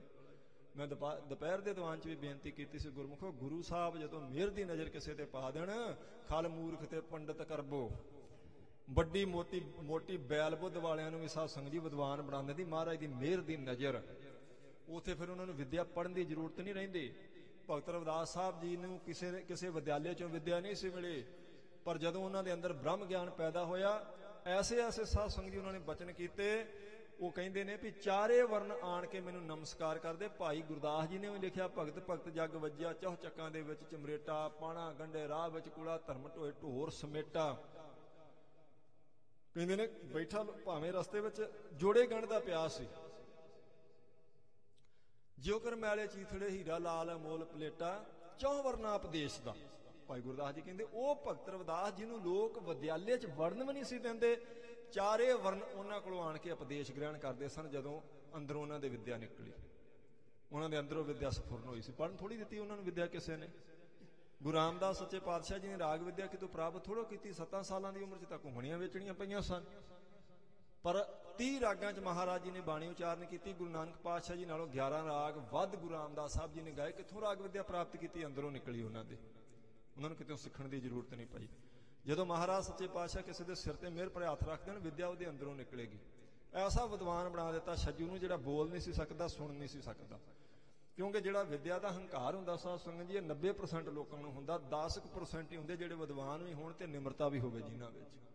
ਚੰਦਨ ਕਵੀ ਨੇ ਕਲਗੀਧਰ ਪਾਤਸ਼ਾਹ ਜੀ ਨੂੰ ਆਖਿਆ ਸੀ, ਜਿਹੜੀ ਕਵਿਤਾ ਅੱਜ ਮੈਂ ਲਿਖ ਕੇ ਲਿਆਇਆ, ਇਹਦੇ ਅਰਥ ਤੁਹਾਡੇ ਸਾਰੇ ਕਵੀਆਂ ਚੋਂ ਕੋਈ ਕਰ ਨਹੀਂ ਸਕਦਾ। ਤੇ ਉਹ ਜਿਹੜਾ 52ਵਾਂ ਕਵੀ ਹੋਣ ਦਾ ਮਾਣ ਪ੍ਰਾਪਤ ਹੋਇਆ, ਉਹ ਭਾਈ ਧੰਨੇ ਨੂੰ ਹੋਇਆ ਮਾਰ ਨੇ ਆਖਿਆ, ਜਿਹੜੀ ਕਵਿਤਾ ਦਾ ਤੂੰ ਮਾਣ ਕਰਦਾ, ਸਾਡੇ ਘੋੜਿਆਂ ਨੂੰ ਘਾਹ ਝਾੜ ਕੇ ਪਾਉਣ ਵਾਲੇ ਇਹਦਾ ਜਵਾਬ ਦੇ ਸਕਦੇ ਆ। ਉਹਨੇ ਆਖਿਆ, ਸੱਦ ਕੇ ਦੱਸੋ, ਫਿਰ ਮੈਂ ਤਾਂ ਮੰਨਾਂ। ਮਹਾਰਾਜ ਨੇ ਸੱਦਿਆ ਭਾਈ ਧੰਨੇ ਨੂੰ। ਹੱਥਾਂ ਪੈਰਾਂ ਨਾਲ ਵੀ ਮਿੱਟੀ ਲੱਗੀ, ਕਿਉਂਕਿ ਘੋੜੇ ਨੂੰ ਖੜਕਣਾ ਫੇਰਦਾ, ਘਾਹ ਝਾੜ ਕੇ ਪਾ ਰਿਹਾ ਸੀ, ਜਦੋਂ ਸੁਨੇਹਾ ਗਿਆ। ਆਖਿਆ, ਮਹਾਰਾਜ, ਕੀ ਹੁਕਮ? ਮਹਾਰਾਜ ਨੇ ਆਖਿਆ ਚੰਦਨ ਕਵੀ ਦੀ ਕਵਿਤਾ ਦਾ ਜਵਾਬ ਦੇ ਧੰਨਿਆ। ਉਹਨੇ ਆਖਿਆ, ਮਹਾਰਾਜ, ਸਿਰ ਤੇ ਮਿਹਰ ਭਰੇ ਹੱਥ ਰੱਖੋ, ਇਹ ਕਿਹੜੀ ਗੱਲ ਹੈ? ਭਰੋਸਾ ਸੀ। ਉਹਨੇ ਕਿਹਾ, ਬੋਲੋ ਜੀ। ਉਹਨੇ ਆਖਿਆ, ਜੀ, ਨਵ ਸਾਤ ਤੀ ਨਵ ਸਾਤ ਪੀ, ਨਵ ਸਾਤ ਪੀਏ ਨਵ ਸਾਤ ਪੀਆ ਇਹ ਹੱਸਣ ਲੱਗ ਪਿਆ ਧੰਨਾ। ਘਾਈ ਸੀ ਮਹਾਰਾਜ ਦਾ। ਕਹਿੰਦਾ, ਇਹ ਕੀ ਹੈ? ਇਹ ਤਾਂ- ਕੋਈ ਬੱਚਾ ਵੀ ਜਵਾਬ ਦੇ ਦੇਗਾ। ਇਹ ਕੀ ਹੈ? 9 7 16 ਦਾ 16 ਸਾਲ ਦਾ ਪਤੀ ਆ 16 ਮਹੀਨਿਆਂ ਬਾਅਦ ਉਹ ਵਾਪਸ ਆਇਆ। ਇਹਦੇ ਚ ਤੂੰ ਕੀ ਲਿਖ ਕੇ ਲਿਆ ਸ਼ਰਮਿੰਦਾ ਹੀ ਹੋ ਗਿਆ ਸੀ ਸਾਧ ਸੰਗਤ ਜੀ ਚੰਦਨ। ਮਹਾਰਾਜ ਨੂੰ ਮੱਥਾ ਟੇਕਿਆ। ਮਹਾਰਾਜ ਨੇ ਆਖਿਆ, ਨਹੀਂ, ਤੂੰ ਧੰਨੇ ਨਹੀਂ ਮੱਥਾ ਟੇਕ। ਇਹੀ ਤੇਰਾ ਗੁਰੂ ਹੈ। ਹੰਕਾਰ ਦੇ ਟਿੱਲੇ ਤੋਂ ਇੱਕਦਮ ਲਾ ਦਿੱਤਾ ਸੀ। ਇਸੇ ਤਰ੍ਹਾਂ ਜਦੋਂ ਛੱਜੂ ਨੇ ਬੋਲ ਕੇ ਜਵਾਬ ਦਿੱਤੇ ਤੇ ਇਹਨੇ ਲਾਲ ਚੰਦ ਨੇ ਆਪਣਾ ਜਨੇਊ ਲਾ ਕੇ ਮਹਾਰਾਜ ਅਠਵੇਂ ਪਾਸ਼ਾ ਦੇ ਚਰਨਾਂ ਚ ਲਾ ਮਹਾਰਾਜ ਕਹਿੰਦੇ ਨਹੀਂ ਪਾ ਕੇ ਰੱਖ ਭਾਈ ਤੈਨੂੰ। ਜੋ ਕਹਿੰਦਾ ਨਹੀਂ ਮਹਾਰਾਜ, ਬਸ ਹੁਣ ਤੁਹਾਡੀ ਸਿੱਖੀ ਮੈਨੂੰ ਚਾਹੀਦੀ ਹੈ, ਮੇਰਾ ਹੰਕਾਰ ਸਾਰਾ ਲੱਥ ਗਿਆ। ਗੁਰੂ ਸਾਹਿਬ ਜੀ ਨੇ ਸਾਧ ਸੰਗਤ ਦੀ ਕਿਰਪਾ ਕੀਤੀ ਤੇ ਫਿਰ ਅੱਗੇ ਮਹਾਰਾਜ ਸੱਚੇ ਪਾਤਸ਼ਾਹ ਦਿੱਲੀ ਗਏ। ਦਿੱਲੀ ਗਏ ਤੇ ਜਿਵੇਂ ਦਿੱਲੀ ਦੇ ਲੋਕਾਂ ਦਾ ਦੁੱਖ ਕੱਟਿਆ। ਕਲਗੀਧਰ ਪਾਤਸ਼ਾਹ ਨੇ ਬਚਨ ਕੀਤੇ, ਸ੍ਰੀ ਹਰਿਕ੍ਰਿਸ਼ਨ ਧਿਆਈਐ ਜਿਸ ਡਿੱਠੇ ਸਭ ਦੁੱਖ ਜਾਏ, ਸਭ ਦੁੱਖ ਆਖਿਆ। ਗਿਣਤੀ ਨਹੀਂ ਦੱਸੀ ਵੀ 2 4 10 ਵੀ 50 ਦੁੱਖ ਉਤਰ ਜਾਣਗੇ। ਮਹਾਰਾਜ ਨੇ ਕਿਹਾ ਸਾਰੇ ਦੁੱਖ ਕੱਟੇ ਜਾਂਦੇ ਜਿਹੜੇ ਗੁਰੂ ਹਰਿਕ੍ਰਿਸ਼ਨ ਸਾਹਿਬ ਸੱਚੇ ਪਾਤਸ਼ਾਹ ਜੀ ਨੂੰ ਧਿਆਉਣਗੇ। ਪੰਡਤਾਂ ਦਾ ਚੁੱਕਿਆ ਚਕਾਇਆ ਇੱਕ ਸਾਧ ਸੰਗਤ ਜੀ, ਦੁਖੀ ਬੰਦਾ, ਜਿਹੜਾ ਕੁਸ਼ਟ ਰੋਗ ਕਰਕੇ ਦੁਖੀ ਸੀ, ਅਠਵੇਂ ਪਾਤਸ਼ਾਹ ਜੀ ਦੀ ਪਾਲਕੀ ਦੇ ਸਾਹਮਣੇ ਲੰਮਾ ਪੈ ਗਿਆ ਸੀ ਤੇ ਪੁਕਾਰ ਕਰਦਾ ਸੀ। ਕਿ ਮੇਰਾ ਦੁੱਖ ਦੂਰ ਕਰੋ ਜੀ। ਅੱਠਵੇਂ ਪਾਤਸ਼ਾਹ ਜੀ ਨੇ ਆਪਣਾ ਰੁਮਾਲ ਦਿੱਤਾ ਸੀ ਕਰ ਕਮਲਾ ਤੋਂ। ਆਖਿਆ ਇਹਨੂੰ ਭੇਂ ਕੇ ਇਹਦੇ ਸਰੀਰ ਉੱਤੇ ਇਹਨੂੰ ਗਿੱਲਾ ਕਰਕੇ ਫੇਰ ਦਿਓ। ਫੇਰਦਿਆਂ ਸਾਰੀ ਤੰਦਰੁਸਤ ਹੋ ਗਿਆ ਸੀ ਉਹ। ਸਾਰੇ ਜਿਨ੍ਹਾਂ ਨੇ ਚੱਕਿਆ ਸੀ, ਮਹਾਰਾਜ ਜੀ ਦੀ ਉਮਰ ਤੇ ਸ਼ੰਕਾ ਕਰਕੇ ਸ਼ਰਮਿੰਦੇ ਹੋ ਗਏ ਸੀ। ਇਹ ਇਹ ਉਵੇਂ ਨਹੀਂ ਬਚਨ ਦਸਵੇਂ ਪਾਤਸ਼ਾਹ ਜੀ ਨੇ ਕੀਤੇ, ਸ੍ਰੀ ਹਰਿਕ੍ਰਿਸ਼ਨ ਧਿਆਈ ਆ, ਜਿਸ ਡਿਠੇ ਸਭ ਦੁੱਖ ਜਾਏ। ਜਿਨ੍ਹਾਂ ਦੇ ਦਰਸ਼ਨ ਕੀਤੇ ਸਾਰੇ ਦੁੱਖ ਕੱਟੇ ਜਾਂਦੇ। ਕਲਗੀਧਰ ਪਾਤਸ਼ਾਹ ਕਹਿੰਦੇ, ਐਸੇ ਮਹਾਨ ਸਤਿਗੁਰੂ ਗੁਰੂ ਹਰਿਕ੍ਰਿਸ਼ਨ ਸਾਹਿਬ ਜੀ ਨੇ। ਤੇ ਸਭ ਦੁੱਖ ਕਿਹੜੇ? ਜੇ ਬਾਣੀ ਵੱਲੇ ਆਪਾਂ ਝਾਤੀ ਮਾਰੀਏ ਤੇ ਮਾਰੇ ਕਹਿੰਦੇ ਦੁੱਖ ਵਿਛੋੜਾ, ਇੱਕ ਦੁੱਖ ਭੂਖ, ਇੱਕ ਦੁੱਖ ਸਖਤਵਾਰ ਜਮਦੂਤ ਇੱਕ ਦੁੱਖ ਰੋਗ ਲੱਗੈ ਤਨ ਤਾਏ। ਜਿੰਨੇ ਵੀ ਦੁੱਖ ਨੇ, ਭਾਵੇਂ ਸਰੀਰ ਨੂੰ ਰੋਗ ਲੱਗਾ ਹੋਵੇ, ਭਾਵੇਂ ਜਮਾਂ ਦਾ, ਨਰਕਾਂ 'ਚ ਜਾਣ ਦਾ, ਜੁਨੀਆਂ ਦਾ, ਗਰਭ ਜੋਨ ਦਾ ਦੁੱਖ ਹੈ, ਭਾਵੇਂ ਪ੍ਰਮਾਤਮਾ ਤੋਂ ਵਿਛੜ ਜਾਣ ਦਾ, ਵਿਛੋੜੇ ਦਾ ਦੁੱਖ ਹੈ, ਸਾਰੇ ਤਰ੍ਹਾਂ ਦੇ ਦੁੱਖ ਅਠਵੇਂ ਪਾਤਸ਼ਾਹ ਜੀ ਦੇ ਚਰਨੀ ਲੱਗਣ ਕਰਕੇ ਕੱਟੇ ਜਾਂਦੇ ਗੁਰਮੁਖੋ। ਕੋਈ ਵੀ ਐਸਾ ਦੁੱਖ, ਭਾਵੇਂ ਉਹ ਅੰਦਰੂਨੀ ਹੈ ਤੇ ਭਾਵੇਂ ਬਾਹਜ ਤੌਰ ਤੇ ਉਹ ਰਹਿੰਦਾ ਨਹੀਂ, ਜਿਹੜਾ ਗੁਰੂ ਹਰਕ੍ਰਿਸ਼ਨ ਸਾਹਿਬ ਸੱਚੇ ਪਾਤਸ਼ਾਹ ਜੀ ਨੂੰ ਧਿਆਉਣ ਲੱਗ ਪਵੇਗਾ। ਜਿਹੜਾ ਅਠਵੇਂ ਪਾਤਸ਼ਾਹ ਜੀ ਨੂੰ ਸਾਧ ਸੰਗਤ ਜੀ ਸ਼ਰਧਾ ਭਾਵਨਾ ਨਾਲ ਚੇਤੇ ਕਰੇ, ਕਿਸੇ ਤਰ੍ਹਾਂ ਦਾ ਕੋਈ ਦੁੱਖ ਉਹਦਾ ਬਾਕੀ ਨਹੀਂ ਬਚਦਾ। ਸਾਰੀ ਦਿੱਲੀ ਤੰਦਰੁਸਤ ਕਰ ਦਿੱਤੀ ਸੀ। ਬੰਗਲਾ ਸਾਹਿਬ, ਗੁਰਦੁਆਰਾ ਸਾਹਿਬ ਹੁਣ ਵੀ ਆਪਾਂ ਜਾਈਏ ਨਾ ਜੀ ਦਰਸ਼ਨ ਕਰਨ ਵਾਸਤੇ, ਜਦੋਂ ਆਪਾਂ ਅੰਦਰੋਂ ਮੱਥਾ ਟੇਕ ਕੇ ਬਾਹਰੋਂ ਪਰਿਕਰਮਾ ਕਰਕੇ ਆਉਨੇ ਆ ਤਾਂ ਉਹ ਉਹ ਆਪਾਂ ਨੂੰ ਉੱਥੇ ਉਹ ਜਲ ਦੇ ਰਹੇ ਹੁੰਦੇ ਨੇ ਉਹ। ਪੰਜ ਚਾਰ ਜਣੇ ਸੇਵਾ 'ਚ ਹਰ ਵੇਲੇ ਖੜੇ ਹੁੰਦੇ ਆ। ਇੱਕ ਇੱਕ ਚੋਲਾ ਉੱਥੋਂ ਸੰਗਤਾਂ ਸਾਰੀਆਂ ਉਹ ਜਲ ਦਾ ਲੈ ਕੇ ਛਕਦੀਆਂ। ਉਹ ਉਹ ਕੀ ਗੱਲ ਹੈ ਭਲਾ? ਉਹ ਉਹੀ ਸਾਧ ਸੰਗਤ ਦੀ ਜਗ੍ਹਾ ਜਿੱਥੇ ਅੱਠਵੇਂ ਪਾਤਸ਼ਾਹ ਜੀ ਉਸ ਪਾਣੀ ਦੇ ਵਿੱਚ ਬੱਚੇ ਵਿੱਚ ਚਰਨ ਪਾ ਕੇ ਬੈਠੇ ਸਨ, ਜਦੋਂ ਸਾਰੀ ਦਿੱਲੀ ਨੂੰ ਪਲੇਗ ਨੇ ਘੇਰ ਲਿਆ ਸੀ ਵਾਹਿਗੁਰੂ ਚੇਚਕ ਨੇ ਘੇਰ ਲਿਆ ਸੀ। ਤੇ ਦਿੱਲੀ ਦੇ ਲੋਕਾਂ ਨੇ ਉਸ ਵੇਲੇ ਆਣ ਕੇ ਫਰਿਆਦ ਕੀਤੀ ਸੀ, ਮਹਾਰਾਜ, ਦੇਵਨੀਤ ਨਾਲ ਆਪ ਜੀ ਇੱਥੇ ਆਏ ਜੇ ਤੇ ਆ ਰੋਗ ਦੂਰ ਕਰੋ।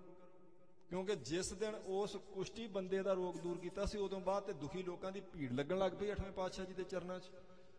ਸਭ ਨੂੰ ਪਤਾ ਲੱਗ ਗਿਆ ਸੀ ਮਹਾਰਾਜ ਦੇ ਦਰਸ਼ਨ ਕੀਤਿਆਂ ਦੁੱਖ ਕੱਟੇ ਜਾਂਦੇ ਨੇ। ਸਤਿਗੁਰੂ ਗੁਰੂ ਹਰਕ੍ਰਿਸ਼ਨ ਸਾਹਿਬ ਸੱਚੇ ਪਾਤਸ਼ਾਹ ਜੀ ਨੇ ਆਖਿਆ ਸੀ ਠੀਕ ਹੈ ਫਿਰ ਅਸੀਂ ਇਸ ਬੱਚੇ ਵਿੱਚ ਬੈਠੇ ਇਹਦੇ 'ਚ ਜਲ ਭਰ ਦਿਓ। ਜਿਹੜਾ ਇਹਦੇ ਵਿੱਚ ਆਣ ਕੇ ਚੁਲਾ ਲੈ ਕੇ ਲੰਘਦੇ ਜਾਵੇਗਾ ਉਹਦਾ ਉਹਦਾ ਰੋਗ ਕੱਟਿਆ ਜਾਵੇਗਾ। ਸਾਰੀ ਦਿੱਲੀ ਤੰਦਰੁਸਤ ਕਰ ਦਿੱਤੀ ਸੀ ਮਹਾਰਾਜ ਜੀ ਨੇ। ਤੇ ਆਪਣੇ ਸੰਸਾਰ ਤੋਂ ਜਾਣ ਦਾ ਬਹਾਨਾ ਵੀ ਫਿਰ ਉਹੀ ਬਣਾਇਆ ਸੀ। ਉਹੀ ਬੰਗਲਾ ਸਾਹਿਬ ਗੁਰਦੁਆਰਾ ਉਹ ਰਾਜੇ ਜੈ ਸਿੰਘ ਦਾ ਘਰ ਸੀ ਜਿੱਥੇ ਅੱਠਵੇਂ ਪਾਤਸ਼ਾਹ ਜੀ ਜਾ ਕੇ ਸਾਧ ਸੰਗਤ ਜੀ ਅਹ, ਸੁਭਾਇਮਾਨ ਹੋਏ ਸਨ। ਕਿਉਂਕਿ ਰਾਜੇ ਜੈ ਸਿੰਘ ਨੇ ਆਖਿਆ ਸੀ ਆਪ ਜੀ ਮੇਰੇ ਮਹੱਲਾਂ 'ਚ ਬੈਠੇ ਹੋ ਜੀ। ਨਹੀਂ ਆਵੇਗਾ ਔਰੰਗਜ਼ੇਬ ਆਪ ਜੀ ਨੂੰ ਮਿਲਣ ਵਾਸਤੇ, ਪਰ ਉਹ ਆਇਆ ਸੀ। ਕਹਿੰਦੇ ਡੇਢ ਘੜੀ ਤੋਂ ਵੱਧ ਦਰਵਾਜ਼ੇ ਤੇ ਖੜਾ ਰਿਹਾ, ਅੱਠਵੇਂ ਪਾਤਸ਼ਾਹ ਜੀ ਨੇ ਬਿਲਕੁਲ ਨਿਡਰਤਾ ਨਾਲ ਜਵਾਬ ਦਿੱਤਾ ਸੀ ਵੀ ਪਿਤਾ ਜੀ ਦਾ ਹੁਕਮ ਹੈ, ਅਸੀਂ ਤੇਰੇ ਤੇਰੇ ਮੱਥੇ ਨਹੀਂ ਲੱਗਣਾ, ਤੈਨੂੰ ਦਰਸ਼ਨ ਨਹੀਂ ਦੇਣੇ। ਤੇ ਉਹਨੇ ਜਿੱਦ ਵੀ ਨਹੀਂ ਸੀ ਫਿਰ ਕੀਤੀ। ਉਹਨੇ ਸਗੋਂ ਜਾ ਕੇ ਰਾਮ ਰਾਏ ਨੂੰ ਆਖ ਦਿੱਤਾ ਸੀ, ਇਹਨਾਂ ਨੂੰ ਦੁਨੀਆ ਦੀ ਕੋਈ ਤਾਕਤ ਇਸ ਪ੍ਰਤਿਸ਼ਠਾ ਤੋਂ ਇਹਨਾਂ ਦੀ ਨੂੰ ਘਟਾ ਨਹੀਂ ਸਕਦੀ ਕਿਉਂਕਿ ਇਹਨਾਂ ਦੇ ਪਿਤਾ ਸਤਿਗੁਰੂ ਜੀ ਨੇ ਇਹਨਾਂ ਨੂੰ ਆਪ ਹੱਥੀਂ ਨਵਾਜਿਆ। ਇਸ ਕਰਕੇ ਤੈਨੂੰ ਜਿਹੜੀ ਜਗੀਰ ਜਗੀਰ ਚਾਹੀਦੀ ਤੂੰ ਮੇਰੇ ਤੋਂ ਲੈ ਲੈ, ਆਪਣੇ ਭਰਾ ਨਾਲ ਨਫ਼ਰਤ ਨਾ ਕਰ, ਈਰਖਾ ਨਾ ਕਰ। ਔਰੰਗਜ਼ੇਬ ਨੇ ਇਹ ਗੱਲ ਆਖ ਦਿੱਤੀ ਸੀ ਰਾਮ ਰਾਏ ਨੂੰ। ਤੈਨੂੰ ਚਾ ਉਹਨੇ ਫਿਰ ਇਸੇ ਕਰਕੇ ਆ ਡੇਰਾ ਦੂਣ ਵਾਲੀ ਸਾਰੀ ਸਾਧ ਸੰਗਤ ਦੀ ਜਿਹੜੀ ਜਗੀਰ, ਇਹ ਰਾਮ ਰਾਏ ਦੇ ਨਾਲ ਲਾ ਦਿੱਤੀ ਸੀ। ਮੁੜ ਗਿਆ ਸੀ। ਕਦੀ ਇਸ ਤਰ੍ਹਾਂ ਨਹੀਂ ਹੋਇਆ ਵੀ ਦੁਨੀਆ ਦਾ ਬਾਦਸ਼ਾਹ ਮਹਾਰਾਜ ਦੇ ਦਰਸ਼ਨ ਕਰਨ ਆਵੇ ਤੇ ਮਹਾਰਾਜ ਵੱਲੋਂ ਆਗਿਆ ਨਾ ਮਿਲੇ ਤੇ ਚਲੇ। ਉਹ ਵੀ ਐਡਾ ਜ਼ੁਲਮੀ ਬਾਦਸ਼ਾਹ। ਜਿਨੇ ਸਾਹਿਬ ਸੰਗਤ ਜੀ ਆਪਣੇ ਹੀ ਫਿਰਕੇ ਦੇ ਸਿਰਫ ਫਕੀਰ ਇਸੇ ਕਰਕੇ ਹੀ ਸਜ਼ਾ ਯਾਫਤਾ ਉਹਨਾਂ ਨੂੰ ਕਰ ਦਿੱਤਾ ਸੀ ਵੀ ਕਰਾਮਾਤ ਨਹੀਂ ਵਿਖਾ ਵਿਖਾ ਸਕੇ। ਕਰਾਮਾਤ ਵੇਖਣ ਦਾ ਬਹੁਤ ਪ੍ਰੇਮੀ ਸੀ। ਇਸੇ ਕਰਕੇ ਉਹਨੇ ਰਜੀਨਾ ਬੱਧਾ ਸੀ ਰਾਮ ਰਾਏ ਦਾ, ਕਿਉਂਕਿ ਜੋ ਕਹਿੰਦਾ ਸੀ ਰਾਮ ਰਾਏ ਕਰਕੇ ਵਿਖਾਲੀ ਜਾਂਦਾ ਸੀ। ਇਸੇ ਕਰਕੇ ਰਾਮ ਰਾਏ ਨੇ ਈਰਖਾ ਜਾਣ ਕੇ ਆਖਿਆ ਸੀ ਉਹਨੂੰ ਵੀ ਤੁਸੀਂ ਅੱਠਵੇਂ ਪਾਤਸ਼ਾਹ ਜੀ ਨੂੰ ਬੁਲਾਓ, ਮੈਂ ਤਾਂ ਇੱਕ ਸਧਾਰਨ ਗੁਰੂ ਦਾ ਪੁੱਤਰ ਹਾਂ, ਉਹ ਤਾਂ ਹੁਣ ਗੁਰਤਾ ਗੱਦੀ ਦੇ ਮਾਲਕ ਨੇ, ਮੇਰੇ ਤੋਂ ਕਿਤੇ ਵੱਧ ਸਮਰੱਥ ਨੇ, ਜੋ ਚਾਹੇਗਾ ਤੂੰ ਦੇਖ ਸਕਦਾ। ਪਰ ਮਹਾਰਾਜ ਜੀ ਨੇ ਸਾਧ ਸੰਗਤ ਜੀ ਉਹਨੂੰ ਦਰਸ਼ਨ ਨਹੀਂ ਸੀ ਬਖਸ਼ੇ। ਐਸੇ ਮਹਾਨ ਸਤਿਗੁਰੂ ਸ੍ਰੀ ਗੁਰੂ ਹਰਕ੍ਰਿਸ਼ਨ ਸਾਹਿਬ ਸੱਚੇ ਪਾਤਸ਼ਾਹ ਜੀ ਦਾ ਅੱਜ ਪ੍ਰਕਾਸ਼ ਪੁਰਬ ਸੀ। ਸਵੇਰ ਤੋਂ ਹੀ ਸੰਗਤਾਂ ਤਨ ਮਨ ਧਨ ਕਰਕੇ ਗੁਰੂ ਸਾਹਿਬ ਜੀ ਦੇ ਘਰ ਦੀਆਂ ਸੇਵਾਵਾਂ ਕਰ ਰਹੀਆਂ ਨੇ।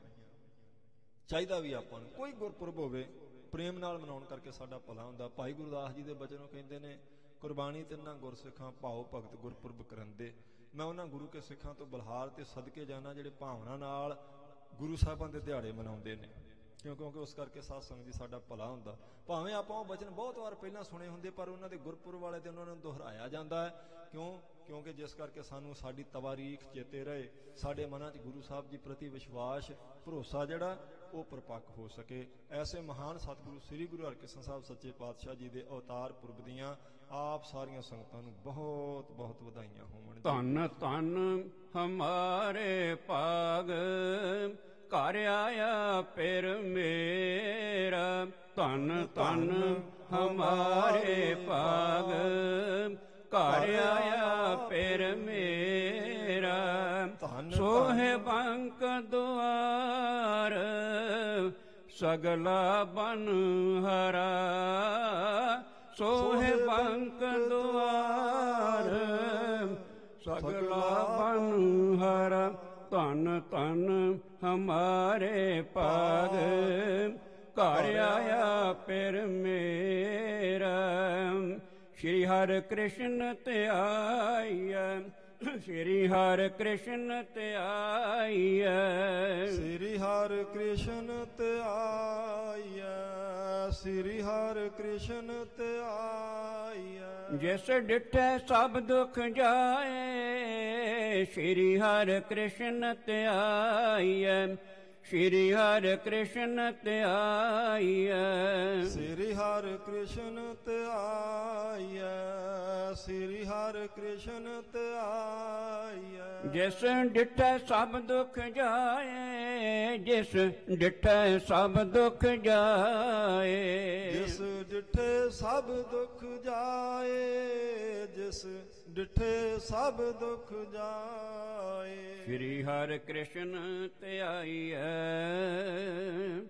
ਸੋ ਸਤਿਗੁਰੂ ਸ੍ਰੀ ਗੁਰੂ ਹਰਕ੍ਰਿਸ਼ਨ ਸਾਹਿਬ ਮਹਾਰਾਜ ਸੱਚੇ ਪਾਤਸ਼ਾਹ ਜੀ ਦੇ ਪਾਵਨ ਪਿੱਤਰ ਪ੍ਰਕਾਸ਼ ਪੁਰਬ ਦੀਆਂ ਫਿਰ ਤੋਂ ਆਪ ਸਾਰੀਆਂ ਸੰਗਤਾਂ ਨੂੰ ਮੁਬਾਰਕਾਂ ਹੋਵਣ ਜੀ। ਆਓ ਸੁਰਤੀ ਬਿਰਤੀ ਉੱਥੇ ਲੈ ਕੇ ਚੱਲੀਏ ਜਿੱਥੇ ਆਪਾਂ ਇਤਿਹਾਸ ਦੀ ਕਲਾ ਕਥਾ ਕੱਲ ਛੱਡੀ ਸੀ।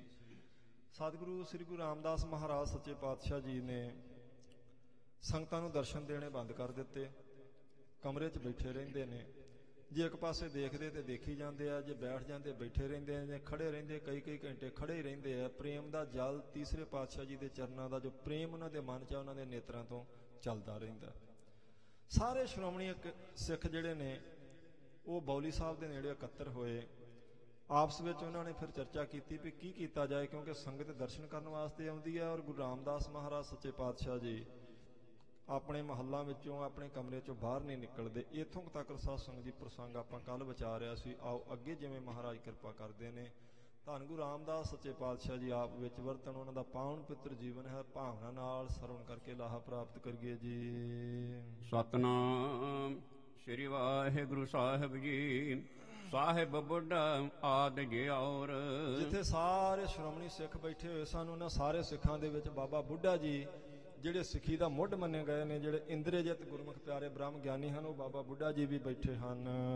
ਬੈਠੇ ਸਗਲ ਬਾਬਰੀ ਠੌਰ। ਸਾਰੇ ਬੌਲੀ ਦੇ ਬਾਹਰ ਸਾਧ ਸੰਗਤ ਜੀ ਬੈਠੇ ਨੇ ਸ਼੍ਰੋਮਣੀ ਸਿੱਖ ਜਿੰਨੇ ਨੇ ਵਿਚਾਰਾਂ ਕਰਨ ਵਾਸਤੇ ਸਮੇਤ ਬਾਬਾ ਬੁੱਢਾ ਜੀ ਦੇ। ਚਿੰਤਮਾਨ ਚਿਤ ਮਹਿਅਤ ਸਾਰੇ। ਸਾਰੇ ਸਿੱਖ ਆਪਣੇ ਚਿੱਤ ਵਿੱਚ ਬੜੇ ਚਿੰਤਾਮਾਨ ਨੇ ਕਿ ਧੰਨ ਗੁਰੂ ਰਾਮਦਾਸ ਸੱਚੇ ਪਾਤਸ਼ਾਹ ਬਾਹਰ ਕਿਉਂ ਨਹੀਂ ਨਿਕਲਦੇ? ਗੁਰੂ ਨ ਆਵਹਿ ਵਹਿਰ ਦੁਆਰੇ। ਗੁਰੂ ਸਾਹਿਬ ਜੀ ਬਾਹਰ ਨਿਕਲ ਕੇ ਸੰਗਤਾਂ ਨੂੰ ਦਰਸ਼ਨ ਨਹੀਂ ਬਖਸ਼ਦੇ ਪਏ ਇਹ ਗੱਲ ਸੋਚ ਕੇ ਸਾਰੇ ਜਾਣੇ ਚਿੰਤਾ ਕਰਦੇ ਹਨ। ਇਹ ਕਿਆ ਤੈਨੂੰ ਹਿਰਦੈ ਮੈਂ ਠਾਨੀ। ਇਹ ਮਹਾਰਾਜ ਸੱਚੇ ਪਾਤਸ਼ਾਹ ਜੀ ਨੇ ਹਿਰਦੇ ਵਿੱਚ ਕੀ ਠਾਣ ਲਈ ਹੈ ਕਿ ਸੰਗਤ ਨੂੰ ਦਰਸ਼ਨ ਨਹੀਂ ਦੇ ਰਹੇ? ਬੈਠੇ ਬੀਚ ਨਾ ਦਰਸ਼ਨ ਦਾਨੀ। ਸੰਗਤਾਂ ਦੇ ਵਿੱਚ ਆਣ ਕੇ ਐਵੇਂ ਬਹਿੰਦੇ ਨਹੀਂ ਜਿਵੇਂ ਤੀਸਰੇ ਪਾਤਸ਼ਾਹ ਜੀ ਬਹਿੰਦੇ ਸਨ ਜਿਵੇਂ ਦੂਸਰੇ ਪਾਤਸ਼ਾਹ ਜੀ ਆਣ ਕੇ ਸੁਭਾਏਮਾਨ ਹੁੰਦੇ ਸਨ। ਇਹ ਕੀ ਨਿਰਣਾ ਚੌਥੇ ਪਾਤਸ਼ਾਹ ਜੀ ਨੇ ਕੀਤਾ ਹੈ। ਪ੍ਰੇਰਣ ਕਰਿਓ ਬਿਰਧ ਕੋ ਸਭ ਨੇ ਫਿਰ ਸਾਰੀਆਂ ਸੰਗਤਾਂ ਨੇ ਬਾਬਾ ਬੁੱਢਾ ਜੀ ਨੂੰ ਬੇਨਤੀ ਕੀਤੀ ਵੀ ਬਾਬਾ ਜੀ ਤੁਹਾਡੇ ਤੋਂ ਬਿਨਾ ਹੁਣ ਕੌਣ ਜਾ ਕੇ ਮਹਾਰਾਜ ਜੀ ਨੂੰ ਇਹ ਬੇਨਤੀ ਕਰੇ ਵੀ ਸੰਗਤ ਵਿੱਚ ਦਰਸ਼ਨ ਦਿਓ ਜੀ।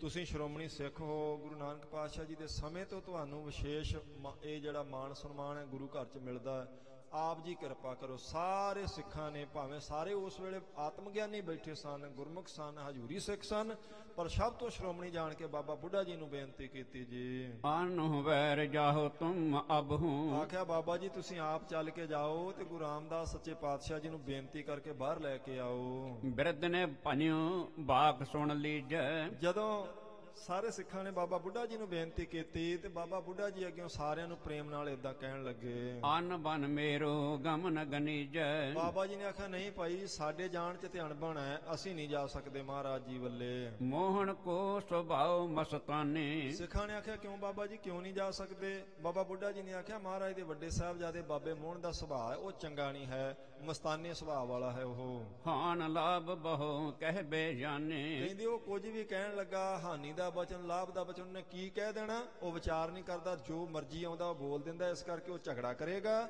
ਮੈਂ ਨਹੀਂ ਜਾਣਾ ਬਾਬਾ ਬੁੱਢਾ ਜੀ ਨੇ ਆਖ ਦਿੱਤਾ ਜੀ। ਜਾਂ ਤੇ ਸਤਗੁਰ ਸੁਤ ਲਗ ਜਾਵੇ। ਆਖਿਆ ਬਾਬਾ ਜੀ ਫਿਰ ਕੌਣ ਜਾਵੇ?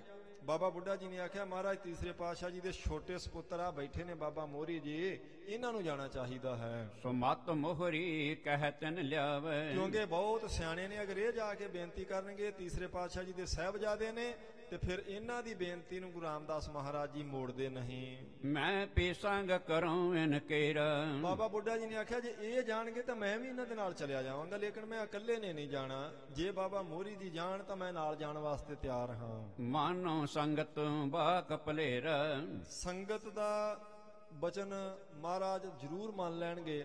ਅਸੀਂ ਸੰਗਤ ਦੀ ਜਿਹੜੀ ਬੇਨਤੀ ਹੈ ਜਾ ਕੇ ਗੁਰੂ ਸਾਹਿਬ ਜੀ ਅੱਗੇ ਕਰ ਦਾਂਗੇ। ਲੇਕਿਨ ਜੇ ਬਾਬਾ ਮੋਹਰੀ ਜੀ ਨਾਲ ਜਾਣਗੇ ਤੇ ਮੈਂ ਜਾਵਾਂਗਾ। ਇਹ ਬਾਬਾ ਬੁੱਢਾ ਜੀ ਨੇ ਆਖਿਆ ਜੀ। ਸਭਨ ਮੋਹਰੀ ਸੋ ਜਬ ਕਹਿਓ। ਕਹਿੰਦੇ ਸਾਰਿਆਂ ਨੇ ਜਦੋਂ ਬਾਬਾ ਮੋਹਰੀ ਜੀ ਨੂੰ ਇਹ ਬੇਨਤੀ ਕੀਤੀ ਤਾਂ। ਆ ਆ ਆ ਵਹਿ ਮੋਹ ਗਏ ਤੇ ਲਹਿਓ। ਜਦੋਂ ਬਾਬਾ ਮੋਹਰੀ ਜੀ ਨੂੰ ਬੇਨਤੀ ਕੀਤੀ ਉਹਨਾਂ ਨੂੰ ਪਤਾ ਲੱਗ ਗਿਆ ਕਿ ਜੇ ਮੈਂ ਜਾਵਾਂਗਾ ਤਾਂ ਹੋ ਸਕਦਾ ਸੱਚੇ ਪਾਤਸ਼ਾਹ ਜੀ ਬਾਹਰ ਆ ਜਾਣ। ਇਹ ਬਾਬਾ ਮੋਹਰੀ ਜੀ ਦੇ ਮੰਨਣ ਵਿੱਚ ਆ ਗਈ ਸਾਰਿਆਂ ਦੀ ਦੱਸੀ ਹੋਈ ਸਲਾਹ ਜਿਹੜੀ ਸੀ।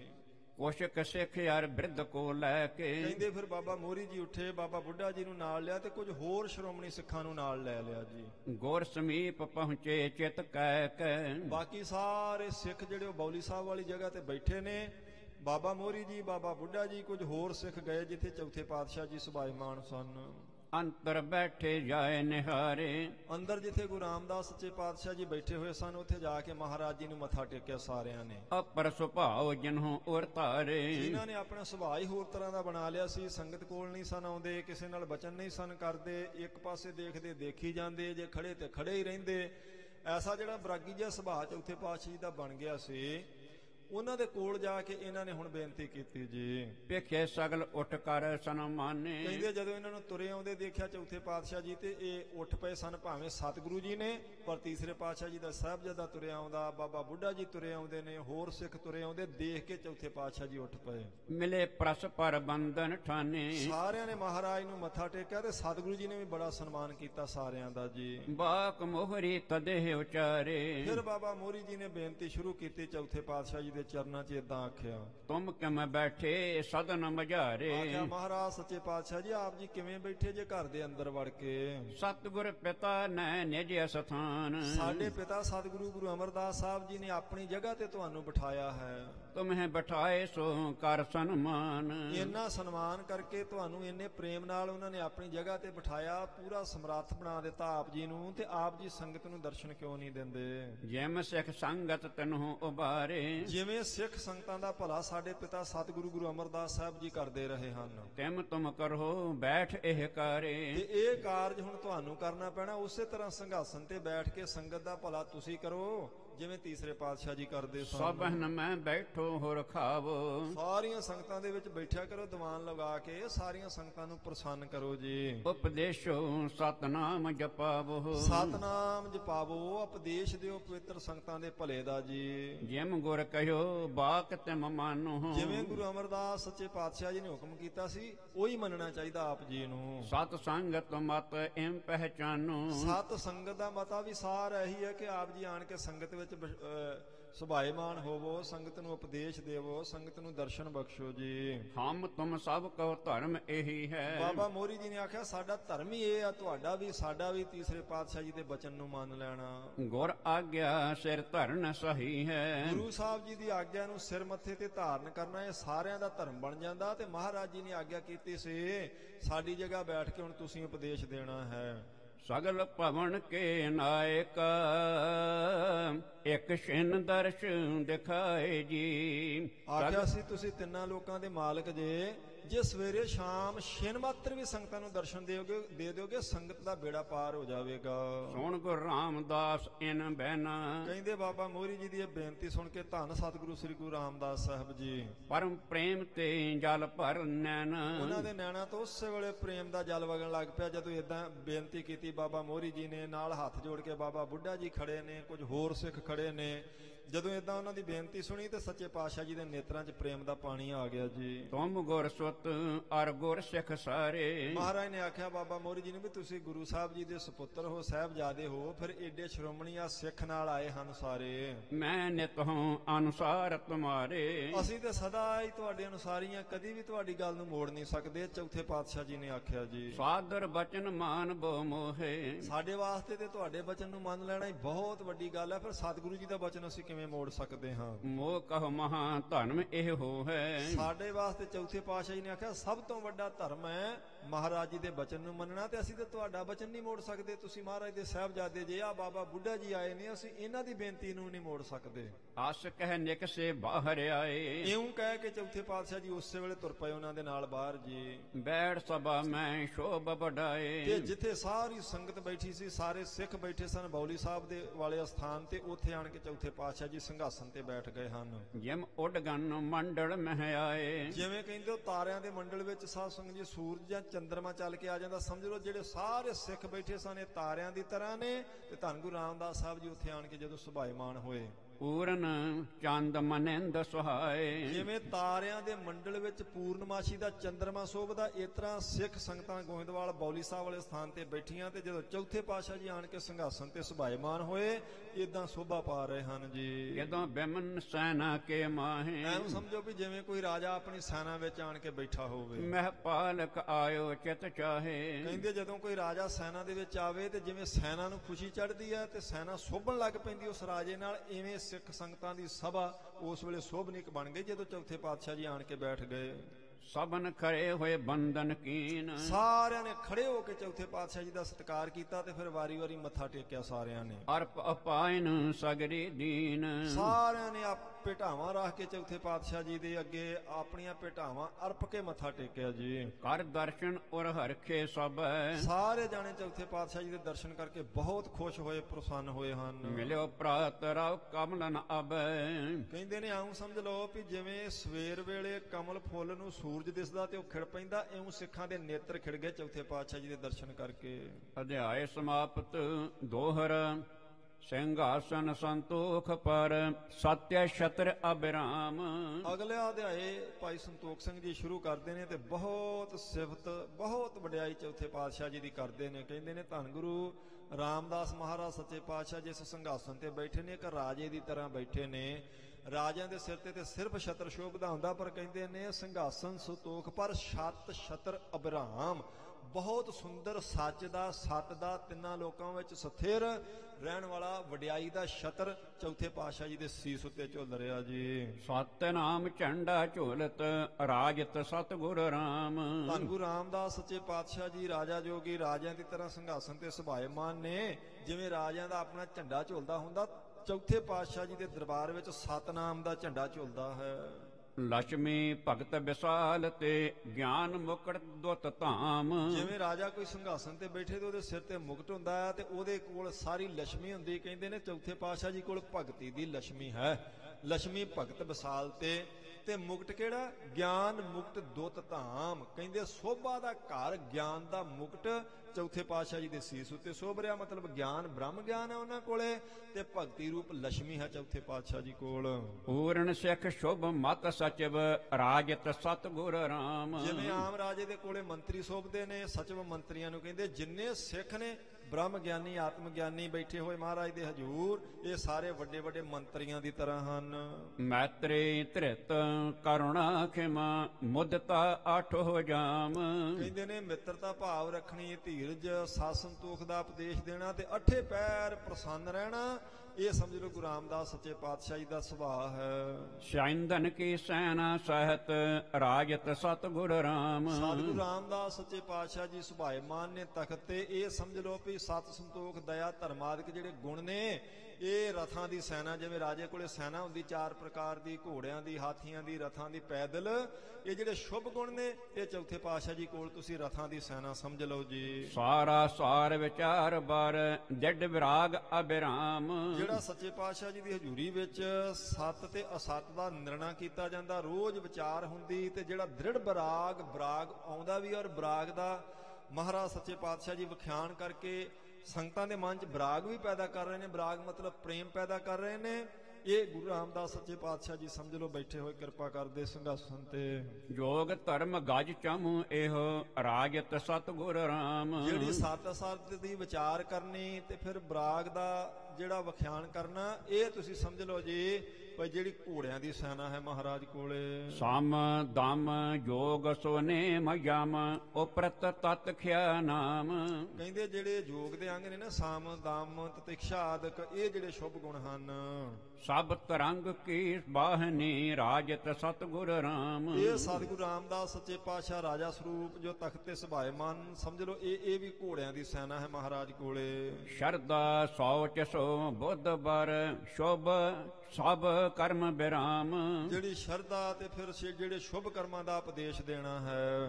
ਭਾਉ ਤਪ ਭਾਉ ਜੋ ਪੈਕ ਦਲ ਰਾਜਤ ਸਤਗੁਰ ਰਾਮ। ਫਿਰ ਕਹਿੰਦੇ ਭਉ ਤਾਪ ਭਾਉ ਜਿਹੜਾ ਪ੍ਰੇਮ ਤਪੱਸਿਆ ਭਗਤੀ ਤੇ ਜਿਹੜਾ ਡਰ ਹੈ ਗੁਰੂ ਸਾਹਿਬ ਜੀ ਦਾ ਨਿਰਮਲ ਭਾਉ ਜਿਹਨੂੰ ਕਹਿੰਦੇ ਨੇ ਪੈਕ ਦਲ ਪੈਕ ਦਲ ਦਾ ਹੁੰਦਾ ਪੈਦਲ ਸੈਨਾ। ਇਹ ਸਮਝ ਲਓ ਜਿਹੜਾ ਪ੍ਰੇਮ ਜਿਹੜੀ ਤਪੱਸਿਆ ਜਿਹੜੀ ਭਗਤੀ ਜਿਹੜਾ ਮਹਾਰਾਜ ਜੀ ਦਾ ਨਿਰਮਲ ਭਾਉ ਦ੍ਰਿੜ ਕਰਵਾਇਆ ਜਾਂਦਾ ਇਹ ਪੈਦਲ ਸੈਨਾ ਚੌਥੇ ਪਾਤਸ਼ਾਹ ਜੀ ਦੀ। ਪ੍ਰੇਮ ਭਲੀ ਸੈਨਾਪਤੀ ਹਰ ਕੀਰਤਨ ਅਬਰਾਮ ਤੇ ਸੈਨਾਪਤੀ ਕੌਣ ਹੈ? ਪ੍ਰੇਮ। ਪ੍ਰੇਮ ਸਾਰੀ ਸੈਨਾ ਦਾ ਸੈਨਾਪਤੀ ਹੈ ਹਰੀ ਦੀ ਕੀਰਤੀ ਸੁੰਦਰ ਜਿਹੜੀ ਕੀਤੀ ਜਾਂਦੀ ਮਹਾਰਾਜ ਜੀ ਦੇ ਕੋਲੇ। ਦੁੰਦਬ ਇਹ ਨਿਰਭੈ ਭਜਨ ਰਾਜਤ ਸਤਗੁਰ ਰਾਮ। ਸਮਝ ਲਓ ਵੀ ਇਹ ਜਿਹੜਾ ਵਿਚਾਰ ਮਹਾਰਾਜ ਜੀ ਦੇ ਚੱਲਦਾ ਨਾ ਸ਼ੁਭ ਗੁਣਾ ਦਾ ਇਹ ਇੱਕ ਨਗਾਰਾ ਵੱਜਦਾ ਜਿਵੇਂ ਰਾਜਿਆਂ ਦੇ ਕੋਲ ਸੈਨਾ ਚੜ੍ਹਾਈ ਕਰੇ ਤੇ ਨਗਾਰੇ ਵੱਜਦੇ ਨੇ। ਇਹ ਪ੍ਰੇਮ ਦਾ ਹੀ ਨਗਾਰਾ ਵੱਜ ਰਿਹਾ ਚੌਥੇ ਪਾਤਸ਼ਾਹ ਜੀ ਕੋਲੇ। ਮੋਹ ਸ਼ਤਰ ਮਨ ਦੇਸ਼ ਮਹਿ ਰਾਜ ਕਰਤ ਰਚ ਧਾਮ। ਕਹਿੰਦੇ ਨੇ ਇਹ ਮਨ ਦੇ ਉੱਤੇ ਮੋਹ ਜਿਹੜਾ ਰਾਜ ਕਰਦਾ ਪਿਆ ਸਮਝ ਲਓ ਮਨ ਰੂਪੀ ਘਰ ਦੇ ਉੱਤੇ ਰਾਜ ਮੋਹ ਦਾ ਜਿਹੜਾ ਚੱਲਦਾ ਪਿਆ ਹੈ। ਮਾਰ ਸ਼ਾਰ ਪ੍ਰਜਾਇ ਕਰੋ ਰਾਜਤ ਸਤਗੁਰ ਰਾਮ। ਮਨ ਉਤੋਂ ਇਸ ਮੋਹ ਨੂੰ ਮਾਰ ਕੇ ਮਿੱਟੀ 'ਚ ਮਿਲਾ ਦੇਣਾ ਇਹ ਸਤਿਗੁਰੂ ਰਾਮਦਾਸ ਸੱਚੇ ਪਾਤਸ਼ਾਹ ਜੀ ਦੀ ਸੈਨਾ ਸਮਝ ਲਓ ਯੁੱਧ ਕਰਦੀ ਪਈ। ਇਹ ਇੱਕ ਰਾਜੇ ਦਾ ਸਾਧ ਸੰਗਤ ਜੀ ਪ੍ਰਕਰਣ ਬਣਾ ਕੇ ਜਿਵੇਂ ਰਾਜਾ ਸਿੰਘਾਸਨ ਤੇ ਬੈਠਦਾ, ਉਹਦੇ ਕੋਲੇ ਰਥਾਂ ਦੀ ਸੈਨਾ, ਘੋੜਿਆਂ ਦੀ ਸੈਨਾ, ਪੈਦਲ ਸੈਨਾ, ਫਿਰ ਨਗਾਰੇ ਵੱਜਦੇ ਆ, ਫਿਰ ਵੈਰੀਆਂ ਨੂੰ ਸਾਧ ਸੰਗਤ ਜੀ ਯੁੱਧ ਕਰਕੇ ਹਰਾਉਂਦਾ। ਹੈ। ਬਸ ਉਹ ਇੱਕ ਪੂਰਾ ਪ੍ਰਕਰਣ ਮਹਾਰਾਜ ਚੌਥੇ ਪਾਤਸ਼ਾਹ ਜੀ ਦੀ ਸੋਭਾ 'ਚ ਬੰਦ ਰਹੇ। ਕਹਿੰਦੇ ਚੌਥੇ ਪਾਤਸ਼ਾਹ ਕਿਸੇ ਰਾਜੇ ਮਹਾਰਾਜੇ ਤੋਂ ਘੱਟ ਨਹੀਂ ਹਨ। ਇਹ ਵੀ ਸੰਭਾ- ਸਿੰਘਾਸਨ ਤੇ ਬੈਠੇ ਨੇ। ਇਹਨਾਂ ਦੇ ਕੋਲੇ ਸ਼ੁਭ ਗੁਣਾਂ ਦੀ ਸੈਨਾ ਇਹਨਾਂ ਦੇ ਕੋਲੇ ਪ੍ਰੇਮ ਦਾ ਸੈਨਾਪਤੀ ਆ ਇਹਨਾਂ ਦੇ ਕੋਲੇ ਦ੍ਰਿੜ ਵਿਰਾਗ ਦਾ ਜਿਹੜਾ ਨਗਾਰਾ ਵੱਜਦਾ ਪਿਆ ਇਹ ਜਿਹੜਾ ਮਨ ਦੇ ਉੱਤੇ ਮੋਹ ਰਾਜ ਕਰਦਾ ਮੋਹ ਨੂੰ ਮਾਰ ਕੇ ਮਿੱਟੀ ਵਿੱਚ ਮਿਲਾ ਦੇਣਾ ਇਹ ਸੱਚੇ ਪਾਤਸ਼ਾਹ ਜੀ ਦੀ ਸੈਨਾ ਯੁੱਧ ਕਰਦੀ ਵਿਕਾਰਾਂ ਨਾਲ ਐਸੇ ਸਤਿਗੁਰੂ ਜੀ ਰਾਜਾ ਸਰੂਪ ਹਨ। ਕਾਮ ਕ੍ਰੋਧ ਅਰ ਲੋਭ ਭਟ ਬੜ ਹੰਕਾਰ ਜਨ ਨਾਮ। ਕਹਿੰਦੇ ਕਾਮ ਕ੍ਰੋਧ ਲੋਭ ਤੇ ਹੰਕਾਰ ਜਿਨ੍ਹਾਂ ਨੂੰ ਵੱਡੇ ਸੂਰਮੇ ਆਖਿਆ ਜਾਂਦਾ ਭੱਟ ਸੂਰਮਿਆਂ ਨੂੰ ਕਹਿੰਦੇ ਨੇ ਤਾਂ ਸੂਰਮੇ ਆਖਿਆ ਜਾਂਦਾ ਕਿਉਂਕਿ ਇਹਨਾਂ ਨੂੰ ਜਿੱਤਣਾ ਬਹੁਤ ਜ਼ਿਆਦਾ ਸੌਖਾ ਨਹੀਂ ਹੁੰਦਾ। ਹੱਥ ਸੈਨਾ ਪਤ ਮੋਹ ਕੋਏ ਰਾਜਤ ਸਤਗੁਰ ਰਾਮ। ਤੇ ਜਿਹੜਾ ਸੈਨਾਪਤੀ ਹੈ ਮੋਹ ਇਹਨਾਂ ਚਾਰਾਂ ਵਕਾਰਾਂ ਦਾ ਕਹਿੰਦੇ ਗੁਰੂ ਸਾਹਿਬ ਜੀ ਦੀ ਸੰਗਤ ਵਿੱਚ ਇਹਨਾਂ ਵਕਾਰਾਂ ਨੂੰ ਮਾਰ ਕੇ ਮਿੱਟੀ 'ਚ ਮਿਲਾ ਦਿੱਤਾ ਜਾਂਦਾ ਹੈ। ਇਹ ਗੁਰੂ ਰਾਮਦਾਸ ਸੱਚੇ ਪਾਤਸ਼ਾਹ ਜੀ ਦੀ ਸੈਨਾ ਪ੍ਰਬਲ ਹੋ ਰਹੀ ਹੈ। ਹਿੰਸਾ ਮ੍ਰਿਖਾ ਸੁਦਵੈਸ਼ਤਾ ਆਸ਼ਾ ਤ੍ਰਿਸ਼ਨਾ ਨਾਮ।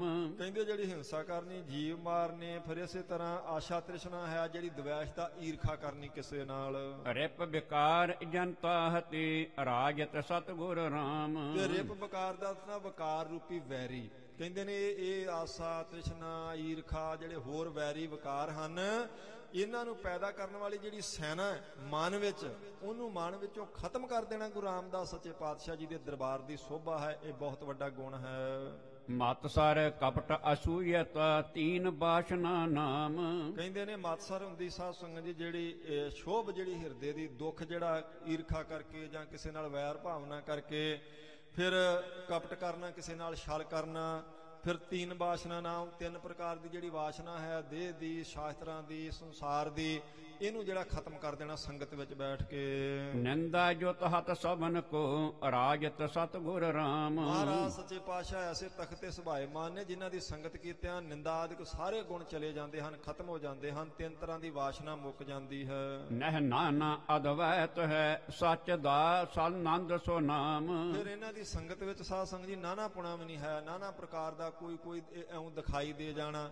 ਨਾ ਨਹਿ ਨਾ ਅਦਵੈਤ ਹੈ। ਕਹਿੰਦੇ ਅਦਵੈਤ ਸਰੂਪ ਪ੍ਰਮਾਤਮਾ ਇੱਕ ਅਕਾਲ ਪੁਰਖ ਵਾਹਿਗੁਰੂ ਦ੍ਰਿੜ ਕਰਵਾਇਆ ਜਾਂਦਾ। ਸੰਗਤ ਵਿੱਚ ਨਾਨਾ ਪੁਣਾ ਜਿਹੜਾ ਉਹ ਖਤਮ ਕੀਤਾ ਜਾਂਦਾ। ਕਈ ਪ੍ਰਕਾਰ ਦੇ ਜਿਹੜੇ ਰੱਬ ਤੇ ਕਈ ਪ੍ਰਕਾਰ ਦੇ ਰੱਬਾਂ ਦੀ ਪੂਜਾ ਉਹ ਚੌਥੇ ਪਾਤਸ਼ਾਹ ਜੀ ਦੇ ਦਰਬਾਰ 'ਚ ਨਹੀਂ ਹੁੰਦੀ। ਚੌਥੇ ਪਾਤਸ਼ਾਹ ਦੇ ਦਰਬਾਰ 'ਚ ਇੱਕੋ ਹੀ ਉਪਦੇਸ਼ ਦਿੱਤਾ ਜਾਂਦਾ ਵੀ ਇੱਕ ਹੀ ਅਕਾਲ ਪੁਰਖ ਵਾਹਿਗੁਰੂ ਹੈ ਇੱਕ ਦੇ ਪੱਲੇ ਲੱਗਣ ਕਰਕੇ ਹੀ ਆਪਣਾ ਭਲਾ ਹੋਵੇਗਾ। ਫੇਰ ਦੁਹਾਈ ਸਭਨ ਪਰ ਰਾਜਤ ਸਤਗੁਰ ਰਾਮ। ਅਕਾਲ ਪੁਰਖ ਵਾਹਿਗੁਰੂ ਦੇ ਨਾਮ ਦੀ ਦੋਹੀ ਜਿਹੜੀ ਫੇਰ ਰਹੇ ਨੇ ਸਾਰੇ ਸੰਸਾਰ 'ਚ ਐਸੇ ਮਹਾਨ ਬਾਦਸ਼ਾਹ ਦੇ ਬਾਦਸ਼ਾਹ ਗੁਰੂ ਰਾਮਦਾਸ ਸੱਚੇ ਪਾਤਸ਼ਾਹ ਹੁਣ ਸੰਘਾਸਨ ਤੇ ਸੁਭਾਏਮਾਨ ਹੋਏ ਨੇ ਨਿਕਲ ਕੇ ਬਾਹਰ ਜੀ।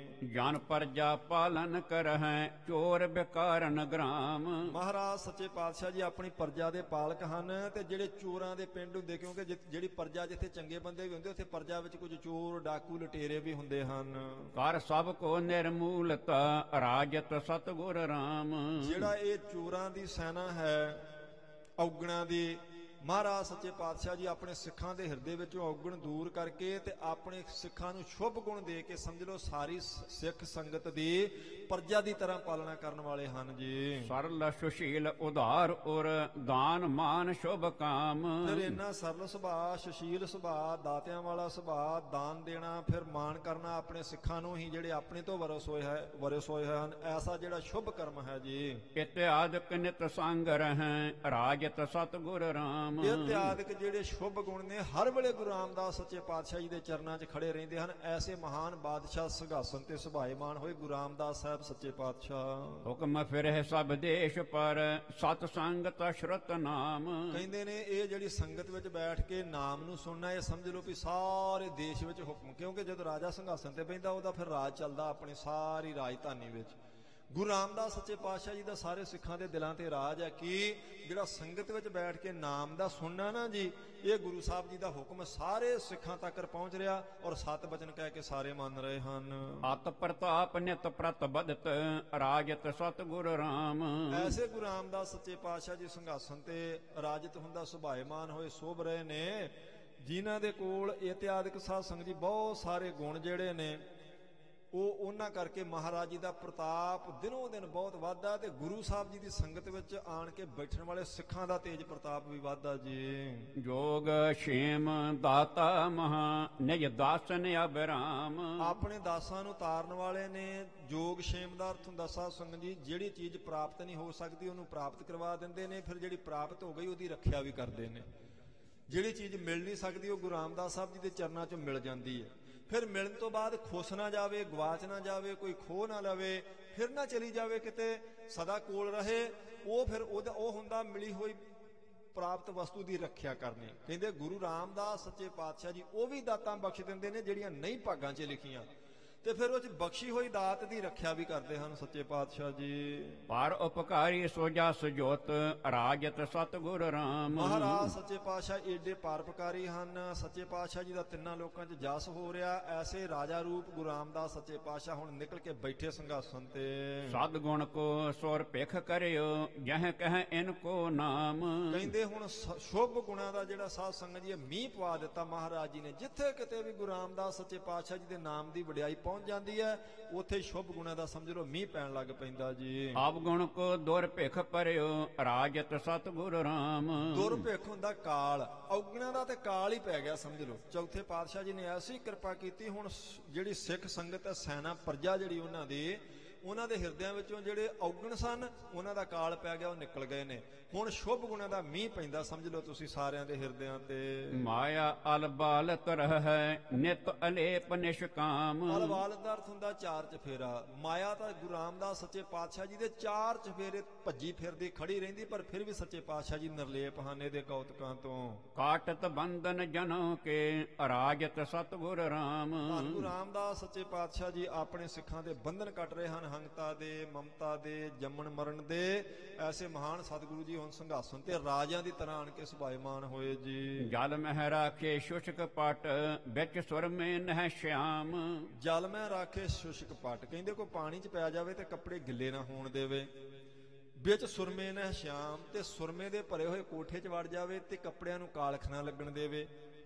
ਇਹ ਬਹੁਤ ਕਠਿਨ ਕੰਮ ਹੈ ਕੋਈ ਪਾਣੀ 'ਚ ਕੱਪੜਿਆਂ ਸਮੇਤ ਜਾਵੇ ਪਰ ਕੱਪੜੇ ਗਿੱਲੇ ਨਾ ਹੋਣ ਵਸਤਰ ਗਿੱਲੇ ਨਾ ਹੋਣ। ਕੋਈ ਸੁਰਮੇ ਦੇ ਕੋਠੇ ਵਿੱਚ ਵੜ ਜਾਵੇ ਤੇ ਬਸਤਰਾਂ ਨੂੰ ਕਾਲਖ ਨਾ ਲੱਗਣ ਦੇਵੇ, ਇਹ ਕਠਿਨ ਕੰਮ ਹੈ। ਇਹ ਗੁਰੂ ਸਾਹਿਬ ਸੱਚੇ ਪਾਤਸ਼ਾਹ ਜੀ ਦੀ ਕਿਰਪਾ ਸਦਕਾ ਇਹ ਸੰਸਾਰ ਜਿਹੜਾ ਇੱਕ ਕਾਜਲ ਦੀ ਕੋਠੜੀ ਮੰਨਿਆ ਗਿਆ, ਇਹਦੇ ਵਿੱਚ ਰਹਿੰਦਿਆਂ ਹੋਇਆਂ ਵੀ ਸਿੱਖਾਂ ਨੂੰ ਕਿਸੇ ਤਰ੍ਹਾਂ ਦੀ ਕਾਲਖ ਨਾ ਲੱਗੇ। ਐਸਾ ਸਾਧ ਸੰਗਤ ਗੁਰੂ ਰਾਮਦਾਸ ਸੱਚੇ ਪਾਤਸ਼ਾਹ ਜੀ ਪਵਿੱਤਰ ਉਪਦੇਸ਼ ਦੇ ਰਹੇ, ਜਿਹਨੂੰ ਕਬੀਰ ਸਾਹਿਬ ਨੇ ਆਖਿਆ ਨਾ, ਕਬੀਰ ਜਗ ਕਾਜਲ ਕੀ ਕੋਠੜੀ ਅੰਧ ਪਰੇ ਤੇ ਸਮਾਹੇ ਹਉ ਬਲਹਾਰੀ ਤਿਨ ਕੋ ਪੈਸ ਜੋ ਨਿਕ ਸਜਾਹੇ। ਕਬੀਰ ਸਾਹਿਬ ਕਹਿੰਦੇ ਸੰਸਾਰ ਕੱਜਲ ਦੀ ਕੋਠੜੀ ਆ ਕਾਲਖ ਦੀ ਕੋਠੜੀ। ਇਹਦੇ ਵਿੱਚ ਜਿਹੜੇ ਤੁਰੇ ਫਿਰਦੇ ਉਦਾਂ ਵੀ ਇਹ ਅਗਿਆਨੀ ਨੇ। ਸਮਝ ਲਓ, ਅੰਨਾ ਬੰਦਾ ਕੱਜਲ ਦੇ ਭਰੇ ਕੋਠੇ ਵਿੱਚ ਵੜ ਜਾਵੇ। ਕਬੀਰ, ਜਗ ਕਾਜਲ ਕੀ ਕੋਠੜੀ, ਅੰਧ ਪਰੇ ਤੇ ਸਮਾਹੇ ਹਉ ਬਲਹਾਰੀ ਤਿਨ ਕੋ ਨੈਕ ਜੋ ਪੀਸ ਜਾਹੇ। ਕਹਿੰਦੇ ਨੇ, ਮੈਂ ਉਹਦੇ ਤੋਂ ਕੁਰਬਾਨ ਜਾਣਾ ਜਿਹਨੂੰ ਦਿਖਾਈ ਵੀ ਨਾ ਦਿੰਦਾ ਹੋਵੇ ਤੇ ਉਹ ਸੁਰਮੇ ਦੇ ਕੋਠੇ 'ਚ ਵੜ ਕੇ ਬਿਨਾਂ ਕਾਲਖ ਲੱਗਣ ਤੋਂ ਬਾਹਰ ਆ ਜਾ ਕਬੀਰ ਸਾਹਿਬ ਕਹਿੰਦੇ, ਮੈਂ ਮੱਥਾ ਟੇਕ ਦਿਆਂਗਾ ਉਸ ਬੰਦੇ ਨੂੰ ਭਾਈ। ਕੀ ਇਹਦਾ ਮਤਲਬ ਹੈ? ਇਹਦਾ ਮਤਲਬ ਹੈ ਸੰਸਾਰ ਨਿਰੀ ਕਾਲਖ ਹੀ ਹੈ। ਕਈ ਪ੍ਰਕਾਰ ਦੀ ਸਾਧ ਸੰਗਤ ਜੀ ਇਹਦੇ 'ਚ ਔਗਣ ਨੇ ਤੁਰੇ ਫਿਰਦੇ। ਸੰਸਾਰ ਦੇ ਵਿੱਚ ਬੰਦਾ ਰਹੇ, ਪਰਿਵਾਰ 'ਚ ਵਿਚਰੇ ਦੁਨੀਆ 'ਚ ਵਿਚਰੇ ਪਰ ਇਹ ਕਿਸੇ ਤਰ੍ਹਾਂ ਦੀ ਕਾਲਖ ਨਾ ਲੱਗਣ ਦੇਵੇ। ਕਹਿੰਦੇ ਉਹ ਮਹਾਨ ਸਿੱਖ ਹੈ, ਗੁਰਮੁਖੋ, ਮਹਾਨ ਮਨੁੱਖ ਹੈ। ਇਹ ਤੇ ਇਦਾਂ ਸਮਝ ਲਓ ਤੁਸੀਂ ਵੀ ਕੋਈ ਬਸਤਰਾਂ ਸਮੇਤ ਪਾਣੀ 'ਚ ਵੜ ਜਾਵੇ ਤੇ ਬਸਤਰ ਗਿੱਲੇ ਨਾ ਹੋਣ ਦੇਵੇ। ਕੋਈ ਕਾਲਖ ਦੇ ਕੋਠੇ ਵਿੱਚ ਵੜ ਜਾਵੇ, ਆਪਣੇ ਆਪ ਨੂੰ ਕਾਲਖ ਨਾ ਲੱਗਣ ਦੇਵੇ। ਦੁਨੀਆ ਵਿੱਚ ਵਿਚਰਦਿਆਂ ਹੋਇਆਂ ਰਹਿਣਾ ਤਾਂ ਇਦਾਂ ਹੀ ਪੈਂਦਾ ਕਿਉਂਕਿ ਸੰਸਾਰ 'ਚ ਕਈ ਪ੍ਰਕਾਰ ਦੇ ਸਾਧ ਸੰਗਤ ਜੀ ਜਿਹੜਾ ਇਹ ਦਵੰਦਵਾਦ, ਮਨ ਦਾ ਖਲਾਰਾ, ਜਿਹੜੇ ਦੁਨੀਆ ਦੇ ਰੰਗ ਤਮਾਸ਼ੇ, ਇਹਨਾਂ ਦਾ ਸਾਹਮਣਾ ਕਰਨਾ ਪੈਂਦਾ। ਫਿਰ ਮਨ ਪ੍ਰਭਾਵਿਤ ਵੀ ਹੁੰਦਾ ਇਹਨਾਂ ਚੀਜ਼ਾਂ ਤੋਂ। ਜਦੋਂ ਆਪਾਂ ਦੁਨੀਆ ਦੇ ਰੰਗ ਤਮਾਸ਼ੇ ਦੇਖਦੇ ਆਂ ਭਈ ਇਹ ਫਿਰ ਮਨ ਨੂੰ ਕਿਵੇਂ ਰੋਕ ਸਕਦੇ ਆਂ ਆਪਾਂ? ਬੜਾ ਕਠਿਨ ਕੰਮ ਹੈ ਵੀ ਇਸ ਤਰ੍ਹਾਂ ਦੀ ਚੀਜ਼ਾਂ ਦੇਖ ਕੇ ਮਨ ਪ੍ਰਭਾਵਿਤ ਨਾ ਹੋਵੇ। ਇਸ ਤਰ੍ਹਾਂ ਦੇ ਕਾਲਯੁਗ ਦੇ ਸਮੇਂ ਵਿੱਚ ਵੀ ਕੋਈ ਸੰਗਤ ਕਰੇ, ਕੋਈ ਨਿਤਨੇਮ ਕਰੇ, ਕੋਈ ਬਾਣੀ ਪੜਨ ਵਾਲਾ ਹੋਵੇ, ਕੋਈ ਮਨ 'ਚ ਪ੍ਰੇਮ ਰੱਖੇ, ਬਰਾਗ ਰੱਖੇ, ਕਠਿਨ ਕੰਮ ਹੈ। ਜੇ ਸਾਰੇ ਹੀ ਸਤਜੁਗੀ ਹੋਣ, ਫਿਰ ਕੋਈ ਕਠਿਨ ਕੰਮ ਨਹੀਂ ਹੁੰਦਾ। ਜੇ ਸਾਰੇ ਪਾਸੇ ਸਾਚੀ ਵਰਤਦਾ ਹੋਵੇ, ਸਾਰੇ ਪਾਸੇ ਬਾਣੀ ਦਾ ਬੋਲਬਾਲਾ ਹੋਵੇ, ਸਾਰੇ ਨਿਤਨੇਮੀ ਹੋਣ, ਫਿਰ ਤਾਂ ਕੋਈ ਕਠਿਨ ਕੰਮ ਨਹੀਂ। ਪਰ ਹੁਣ ਕਲਯੁਗ ਵਿੱਚ ਤਾਂ ਖਲਾਰਾ ਹੀ ਖਲਾਰਾ ਸਾਰੇ ਪਾਸੇ। ਜਿਸ ਪਾਸੇ ਤੁਸੀਂ ਦੇਖੋ, ਮਨ ਦੇ ਖੰਡਾ ਦੀ ਸ- ਸਮੱਗਰੀ ਸਾਰੀ ਆਪਾਂ ਨੂੰ ਦਿਸਦੀ ਹੈ। ਇਹੋ ਜਿਹੇ ਸਮੇਂ ਵਿੱਚ ਵੀ ਕੋਈ ਆਪਣੇ ਮਨ ਨੂੰ ਬਚਾ ਕੇ ਰੱਖੇ, ਕੋਈ ਬੰਦਗੀ ਕਰੇ, ਕੋਈ ਨਿਤਨੇਮ ਕਰੇ, ਕੋਈ ਵਾਹਿਗੁਰੂ ਵਾਹਿਗੁਰੂ ਕਰੇ, ਕੋਈ ਸਤ ਸੰਗਤ ਕਰੇ, ਇਹ ਇਦਾਂ ਹੀ ਆ ਜਿਵੇਂ ਪਾਣੀ 'ਚ ਵੜ ਕੇ ਕੋਈ ਸੁੱਕਾ ਬਾਹਰ ਨਿਕਲ ਆਵੇ। ਇਵੇਂ ਹੀ ਹੈ, ਜਿਵੇਂ ਕਾਲਖ ਵਿੱਚੋਂ ਕੋਈ ਸਾਧ ਸੰਗਤ ਜੀ ਬਿਨਾਂ ਕਾਲਖ ਲੱਗਣ ਤੋਂ ਬਾਹਰ ਆ ਜਾਵੇ, ਇੰਨਾ ਕਠਿਨ ਕੰਮ ਹੈ ਕਲਯੁਗ ਦੇ ਸਮੇਂ ਵਿੱਚ। ਪਰ ਗੁਰੂ ਰਾਮਦਾਸ ਸੱਚੇ ਪਾਤਸ਼ਾਹ ਜੀ ਐਸੇ ਕਰੜੇ ਇਮਤਿਹਾਨ ਵਿੱਚੋਂ ਹੀ ਆਪਣੇ ਸਿੱਖਾਂ ਨੂੰ ਪਾਸ ਕਰ ਰਹੇ ਹਨ।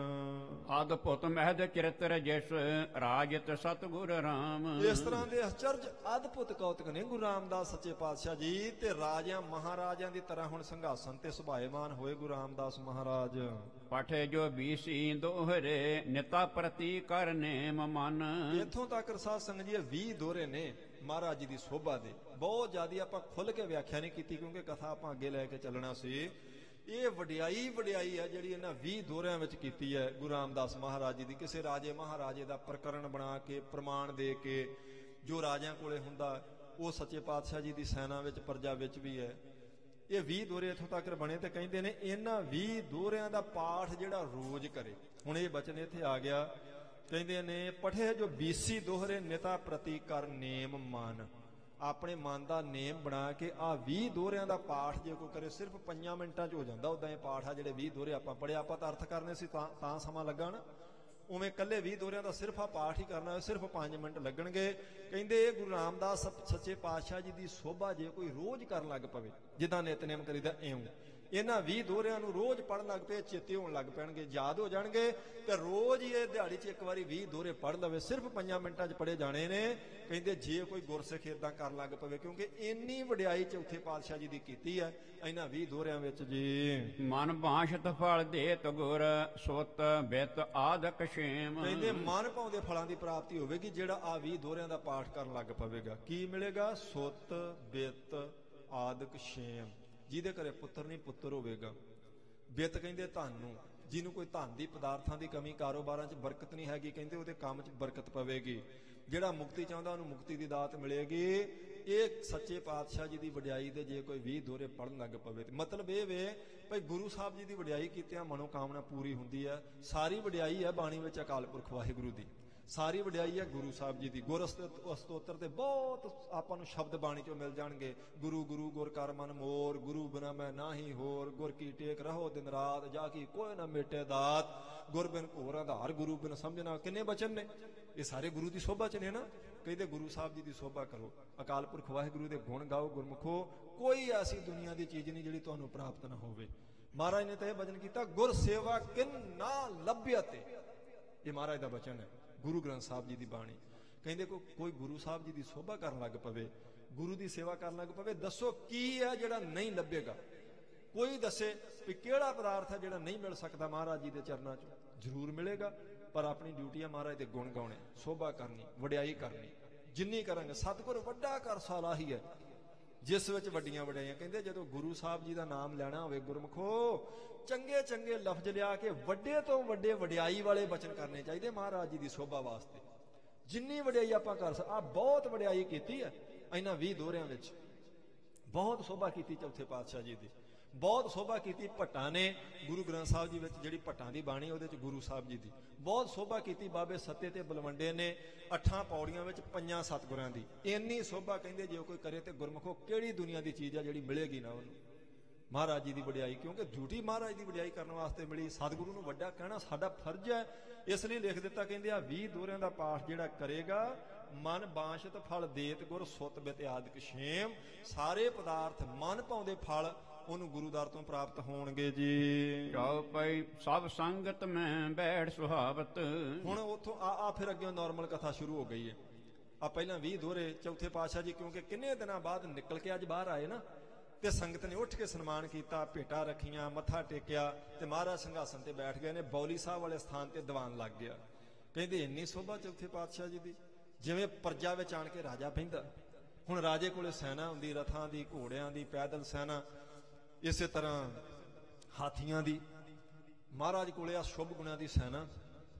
ਸੱਚੇ ਪਾਤਸ਼ਾਹ ਜੀ ਕੋਲੇ ਵੀ ਉਹ ਸਾਰਾ ਪ੍ਰਕਰਨ ਬਣਾ ਕੇ ਕਹਿੰਦੇ ਹੁਣ, ਅੱਜ ਬੈਠੇ ਨਾ ਮਹਾਰਾਜ ਬਾਹਰ ਨਿਕਲ ਕੇ, ਚੌਥੇ ਪਾਤਸ਼ਾਹ ਜੀ ਅੱਜ ਬਹੁਤ ਜ਼ਿਆਦੀ ਸੋਭਾ ਤਾਰਿਆਂ ਦੀ ਤਰ੍ਹਾਂ ਇਹ ਤਾਰਾ ਮੰਡਲ ਸਿੱਖਾਂ ਦਾ ਸੋਭਦਾ ਤੇ ਪੂਰਨਮਾਸ਼ੀ ਦੇ ਚੰਦਰਮਾ ਦੀ ਤਰ੍ਹਾਂ ਵਿੱਚ ਚੌਥੇ ਪਾਤਸ਼ਾਹ ਜੀ ਆਣ ਕੇ ਸੁਭਾਇਮਾਨ ਹੋਏ ਹਨ ਜੀ। ਜਿਮ ਮੁਨੀਆਂ ਮਹਿ ਰਗਬਰ ਸ਼ਬ ਪਾਵਤ। ਕਹਿੰਦੇ ਜਿਵੇਂ ਮੁਨੀਆਂ ਦੀ ਰਿਸ਼ੀਆਂ ਦੀ ਸਭਾ ਵਿੱਚ ਰਾਮਚੰਦਰ ਜੀ ਬੈਠੇ ਹੁਣ ਇਦਾਂ ਸਮਝ ਲਓ ਸਿੱਖਾਂ ਦੀ ਸਭਾ ਵਿੱਚ ਗੁਰੂ ਰਾਮਦਾਸ ਸਾਹਿਬ ਜੀ ਬੈਠੇ ਹਨ। ਉਪਦੇਸ਼ੇ ਸਿੱਖਨ ਸੁਖੇਸ਼ਟ ਕਹਿੰਦੇ ਨੇ ਸਾਰੇ ਸਿੱਖਾਂ ਨੂੰ ਮਹਾਰਾਜ ਅਕਾਲ ਪੁਰਖ ਵਾਹਿਗੁਰੂ ਜੀ ਦੇ ਨਾਮ ਦਾ ਉਪਦੇਸ਼ ਦੇਣ ਲੱਗ ਪਏ ਚੌਥੇ ਪਾਤਸ਼ਾਹ ਜੀ। ਰਾਮ ਸਭਾ ਮਹਿ ਯਥਾ ਵਿਸ਼ਿਸ਼ਟ।